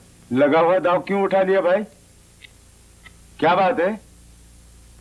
हर बुरे आदमी में कोई अच्छाई भी होती है। शायद इन पैसों की मुझसे ज़्यादा किसी और को ज़रूरत पड़े। फरमाइए आपको क्या चाहिए? जो कुछ इस नुस्खे में लिखा है वो दे दीजिए। और तो कोई चीज़ मुझे अपने काम की यहाँ नज़र नहीं आती। भाई साहब आप बहुत दिनों के बाद तशरीफ़ लाए हैं। जी नहीं। आए तो हम इकट्ठे ही थे। जरा मिलने में देर हो गई। अरे जग्गू जो इन्हें चाहिए वो दे दे। तू तो जानता है सारी खुदाई एक तरफ़। कितना दाम है? हाँ अभी बताता हूँ। वाटरबेरी कंपाउंड सिक्स रुपीज़ छह रुपए। Penicillin injection forty five rupees पैंतालीस रुपए। और सुबेजाल पिल्स डेढ़ सौ रुपए, नहीं हाँ? नहीं नहीं नाइन्टी रुपीज़ नब्बे रुपए। खाली। जरा ठीक ठीक लगाइए। हाँ जी। आदमी देख के पैसे लगाया नहीं जी हम तो टेन परसेंट आप है ना जी जी। वही मैं हूँ। अपनी जेब में भी पराया माल रहता हाँ, हाँ, मुझे मालूम है जरा ये ये। बोलो बोलो आप बोलता हूँ वाटरबेरी कंपाउंड टू रुपीज़ दो रुपए। दो रुपए दो रुपए। पेनिसिलिन इंजेक्शन साढ़े चार रुपए। ढाई रुपए। नहीं जी खरीदी है बिल्कुल खरीदी है और सुबेजाल पिल्स ढाई रुपए। हाँ अब आए। एक और अर्ज़ है कि अब तो मैं ये सब दे देता हूँ। दोबारा इन चीज़ों की ज़रूरत पड़े तो बाजू के दुकान में जाइएगा। नहीं साहब मैं आप ही को तकलीफ़ दूँगा। अच्छा मुझे मगर वहाँ व्यापार बड़ा अच्छा है। जैसा।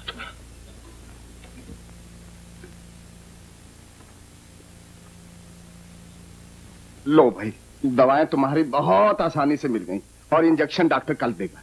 हाँ तो माता जी कहाँ है? माता जी मेरे लिए पानी लेने जा रही थी। गिर पड़ी। गिर पड़ी? हाँ। मेरी बदनसीबी से। और उम्मीद ही क्या हो सकती है? खुद तो बर्बाद हो गई। अपना भरा हुआ घर भी उजाड़ कर रख दिया। जब वो आएँगे तो क्या मिलेगा लेकिन अब रोने से क्या फ़ायदा? तुम्हारे आँसू भगवान की मर्ज़ी को तो नहीं बदल सकते उषा। मगर ये रोज रोज का गम भी तो नहीं देखा जाता। माता जी की आँखों के लिए कुछ करना पड़ेगा। उनकी आँखों के अलावा तुम्हारे इलाज के लिए भी तो कुछ करना होगा। तुम स्टेज को बुरा समझती हो उषा। लेकिन मुझे तो अब वही एक सहारा नज़र आता है। तुमने सच कहा था भैया। गरीबी मुझे नचवाएगी। अब मुझे स्टेज पर पहुँचा दो। क्या? हाँ। माता जी की आँखों के लिए मुझे नाच नहीं पड़ेगा।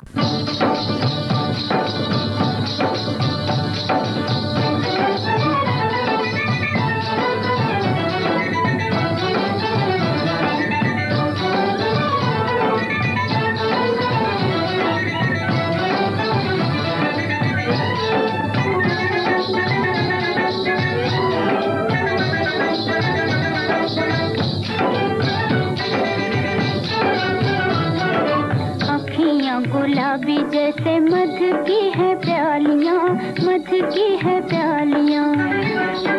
जागी हुई आँखों में शर्म की है लालियाँ शर्म की है लालियाँ। अखियाँ गुलाबी जैसे मध की है प्यालियाँ मध की है प्यालियाँ। जागी हुई आँखों में शर्म की है लालियाँ शर्म की है लालियाँ।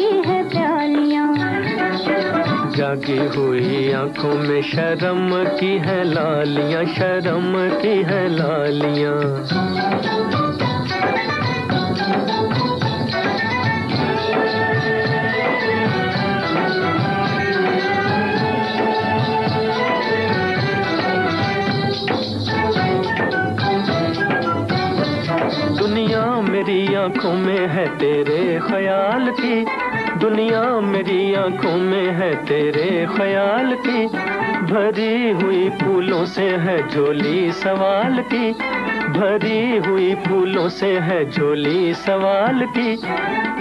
खिली है बहारों में, हो हो। खिली है बहारों में फूलों की डालियाँ। अखियाँ गुलाबी जैसे मध की है प्यालियाँ, मध की है प्यालियाँ। जागी हुई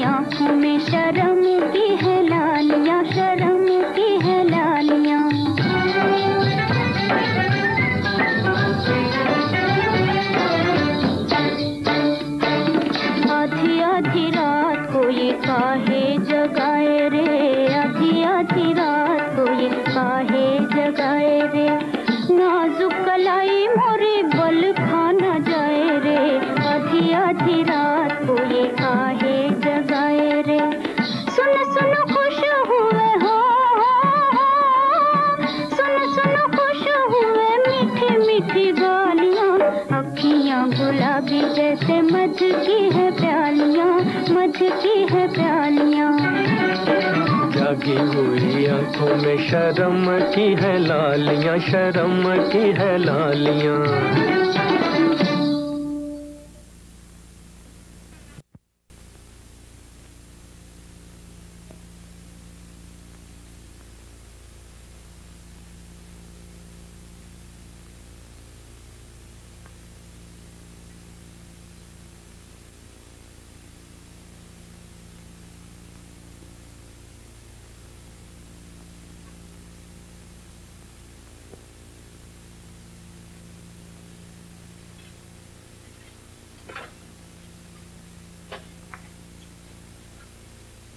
अभी आँखों पर ज़्यादा ज़ोर ना दीजिए। रोशनी नई नई आई।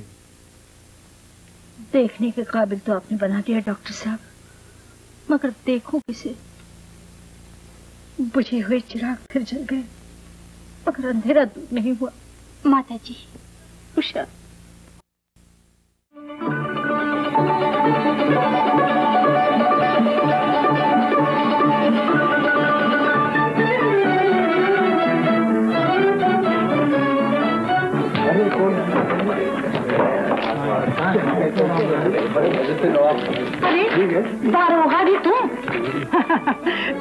पहचाने भी नहीं जाते।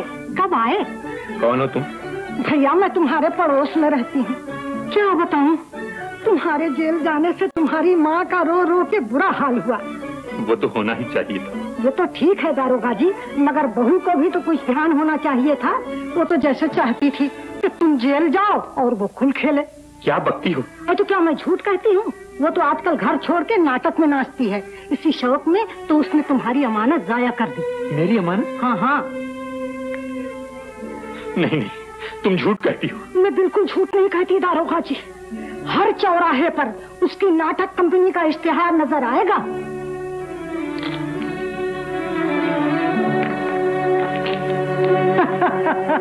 हंस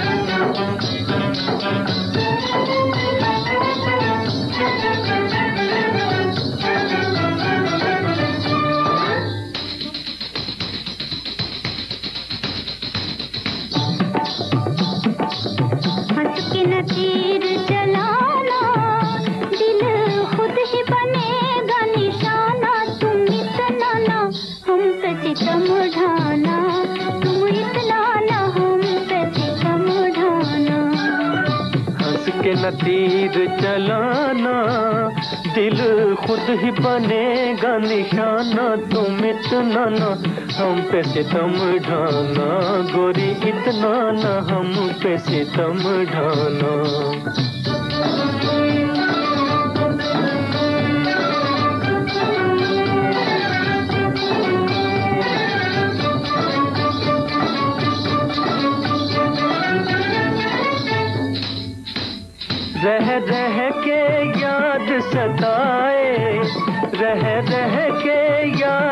सताए गोरे गालों पे, ओ गोरे गालों पे मन ललचाए। गोरे गालों पे मन ललचाए। कुछ अपनी निशानी दिए जाना, दिल खुद ही बनेगा निशाना। तुम मिटना ना, हम पे सितम ढाना।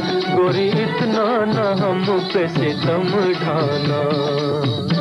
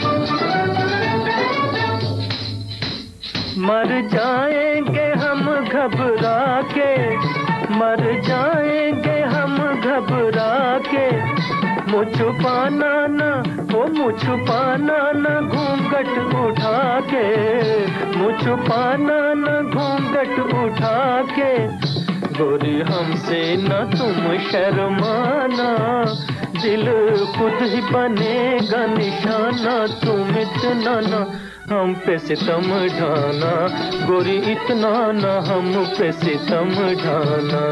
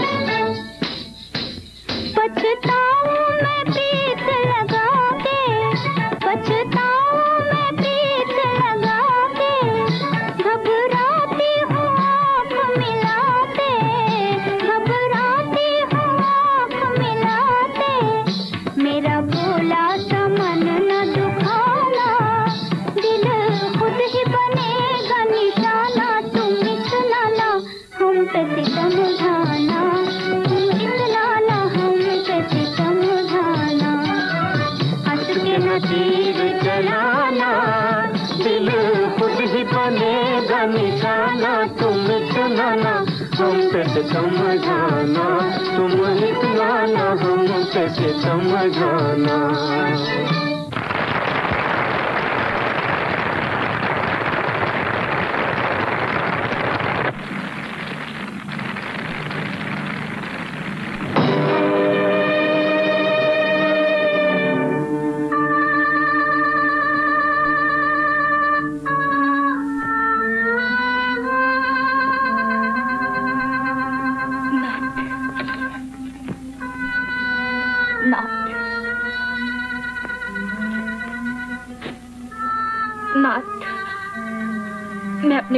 माफ़ी मांगती हूँ हटो तुम्हारा यह झुका हुआ सर इस काबिल भी नहीं कि कोई शरीफ आदमी उसे ठोकर ही लगा दे। तुमको तो इतमान होगा कि मैं जेल गया हूँ और अब शायद वापस भी ना आ सकूँगा। तुम्हारे ढके छिपे सारे पाप ज़ाहिर हो गए। खामोश। अब ये लफ्ज तुम्हारी जबान से अच्छा नहीं मालूम होता। जलील आवारा। आप क्या कह रहे हैं? आप जो कुछ कहना चाहें कह सकते हैं। मगर ये मत कहिए मैं इतनी गिरी हुई नहीं औरत के गिरने की कोई रोक नहीं होती। तुमने तो औरत की शर्म को थिएटर का पर्दा समझ रखा है। जब चाह गिराया जब तालियाँ बजी उठा दिया। आप इतना कुछ कह रहे हैं? मेरी मुसीबत तो सुन लीजिए। सब कुछ सुन चुका हूँ। अपनी इज़्ज़त की नीलाम की कहानी तुम्हारी बेआबरूई का अफसाना। सब कुछ सुन चुका हूँ। कहाँ है मेरी अमानत? कहाँ है मेरा बच्चा बच्चा?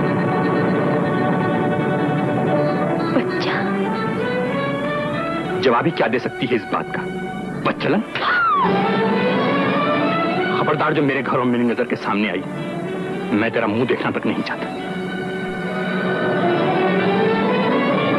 बाबू साहेब आपने उस दुखिया के मुँह पर थप्पड़ मारा है। कुछ उससे सुन तो लिया होता। फांसी पाने वाले कैदियों की भी आखिरी आरज़ू सुन ली जाती है। तुम कौन हो? मैं उस दुखिया का भाई हूँ। बहुत सुन चुका हूँ तुम्हारे मुतालिक भी जैसे तुम हो वैसे ही तुम्हारी बहन भी निकली। बाबू साहेब आपने उस कमबख्त को तमाचा मारा है। वो तो भूल जाएगी। लेकिन मेरे दिल पर जो आपकी बातों से घाव पड़ेगा वो भर ना सकेगा। फिर क्या कर लोगे? अब तो बहुत कुछ सकता हूँ। लेकिन अफसोस के नुकसान अपना ही होगा। ये तुम हो कि आँखें निकालकर मेरे साथ बातें कर रहे हो। वरना और कोई होता तो पोटियाँ नोच लेता। अबे जा आया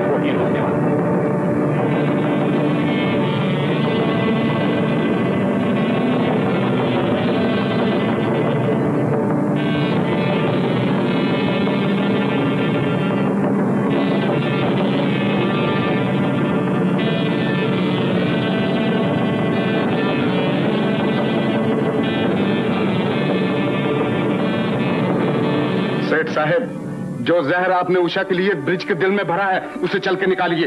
जहर? मैं जहर बेचा करता हूँ किसी के दिल में भरा नहीं करता हूँ। जाओ जाओ यहाँ से।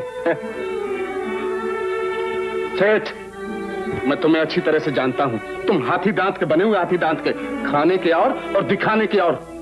चलो सीधी रीत से। जा जा मैं तेरी गुंडागिर्दी को अच्छी तरह जानता हूँ और तुझे भी अच्छी तरह जानता हूँ। जाकर कहीं भजन सुन। ताकि दिमाग सही हो जाए। ए भैया, निकाल दो इसे। तो दिमाग ठंडा कर दूँ?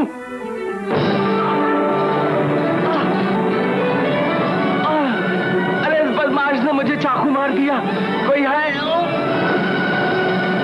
अरे, कोई है? पकड़ो इसे। अरे, सुनती हो। अरे मैं मरा। क्या हो गया?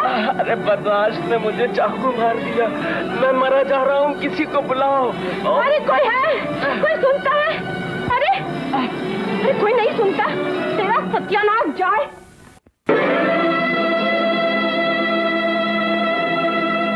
माता जी माता जी बचाइए माता जी। मैं लुट गई।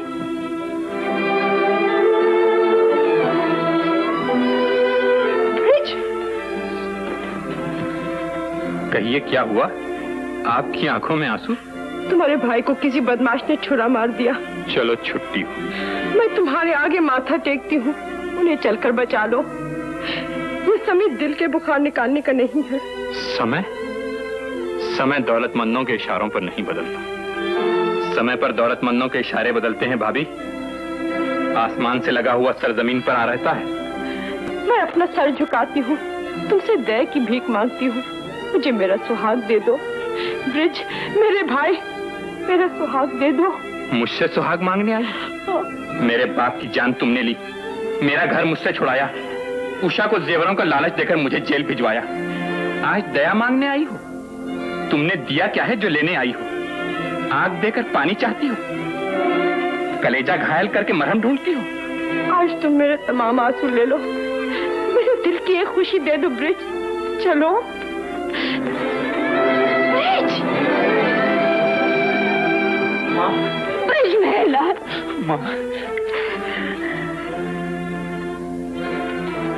बड़ी बहू तुम यहाँ कैसे? उन्हें किसी बदमाश ने छुरा मार दिया है। घनश्याम को? हाँ दम तोड़ते हुए छोड़कर आई हूँ। मेरा बच्चा मेरा लाल कहाँ है घनश्याम मुझे ले चलो उसके पास। माँ? हाँ ब्रिज जब एक अंधी माँ की आँखें बन सकती है तो उसका दिल अपने खोटे बच्चे के लिए आँसू भी नहीं बहा सकता। मुझे ले चलो उसके पास। बहू! अब उसे न पुकारिए माँ। वो ऐसी जगह है जहाँ शरीफों की आवाज़ें नहीं पहुँचती। आप मेरे साथ चलिए।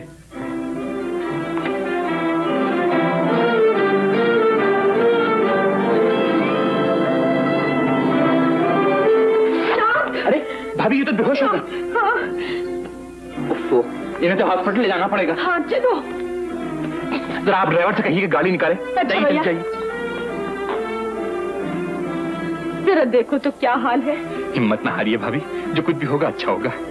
कहिए डॉक्टर साहब क्या हाल है? हालत अच्छी नहीं है। खून देना बहुत ज़रूरी है। खून? मैं तैयार हूँ डॉक्टर साहब। लेकिन खून टेस्ट करना होगा। भाई से भाई का खून कभी नहीं जुदा हो सकता। चलिए। ब्रिज! नर्स? नर्स?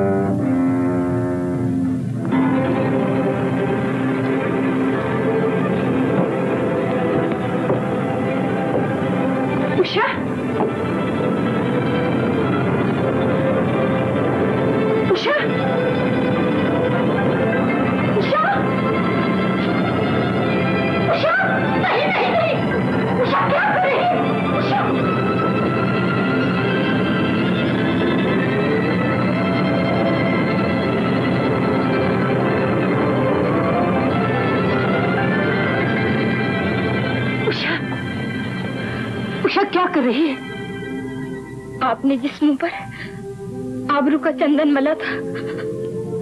आज दुनिया ने उस मुँह पर बदनामी की कालक मल दी।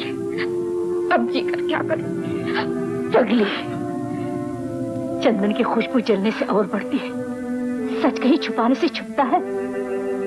बहुत दुख हुआ था। तो जी भर कर रो लेती। जान क्यों दे रही है? इज़्ज़त की तरह आँसू भी जाते रहे। अब ये मुँह खून से ही धोना है। तो क्या मेरी आँखें इसलिए बनवाई थी कि बनवाने वाले के माथे पर सुहाग का टीका देखने के बदले खून का थप्पा देखूँ? ये चराग इसीलिए जले कि ज़िंदगी भर अपनी जलने का तमाशा देखे। जिल्लत की ज़िंदगी से इज़्ज़त की मौत बहुत अच्छी है, माँ। गम का इलाज मौत नहीं है। गम को सह लेना है, बेटा। चल मेरे साथ। ब्रिज घर आ गया है। मैं उसे समझा दूँगी। मैं जानती हूँ। मेरी आशाओं की सुबह हो चुकी है। लेकिन उषा को सुबह के उजाले से पहले ही डूबना पड़ता है माँ। मैं खुश हूँ कि आपके साय में सुहागन रहकर मैं इस दुनिया से उठ रही हूँ। उषा अगर तू इस दुनिया से चली जाना चाहती है तो मुझे भी साथ ले चल। क्या कह रही है मैं सच कह रही हूँ तुझसे पहले मैं मैं ये कभी नहीं होने दूँगी आपने तो मेरे कदम भी टपका दिए। ममता मरते हुए की जान भी बचा लेती है। माँ आपके आंसुओं में मेरी मौत भी डूब गई। उषा चल। हवलदार क्या है? वो सेठ अभी मरा के नहीं? चुप रहो।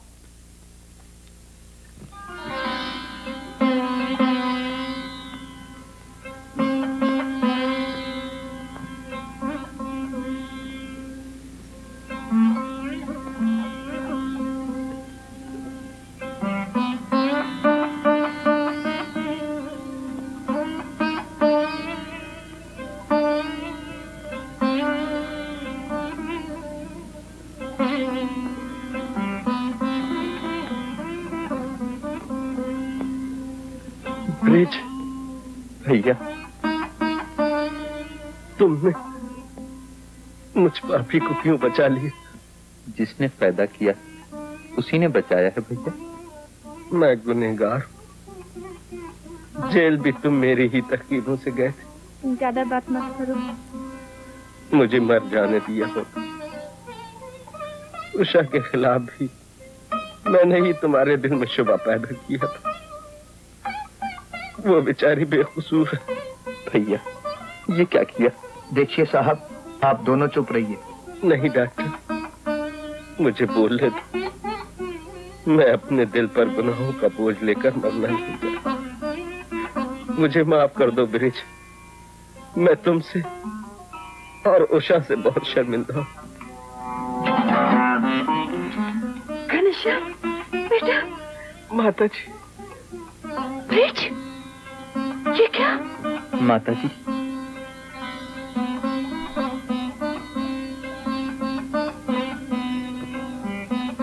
उषा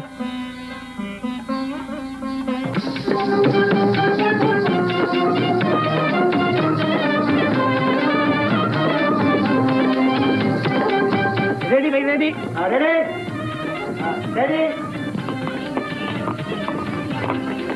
अरे भाई जरा ठहरना जरा ठहरना।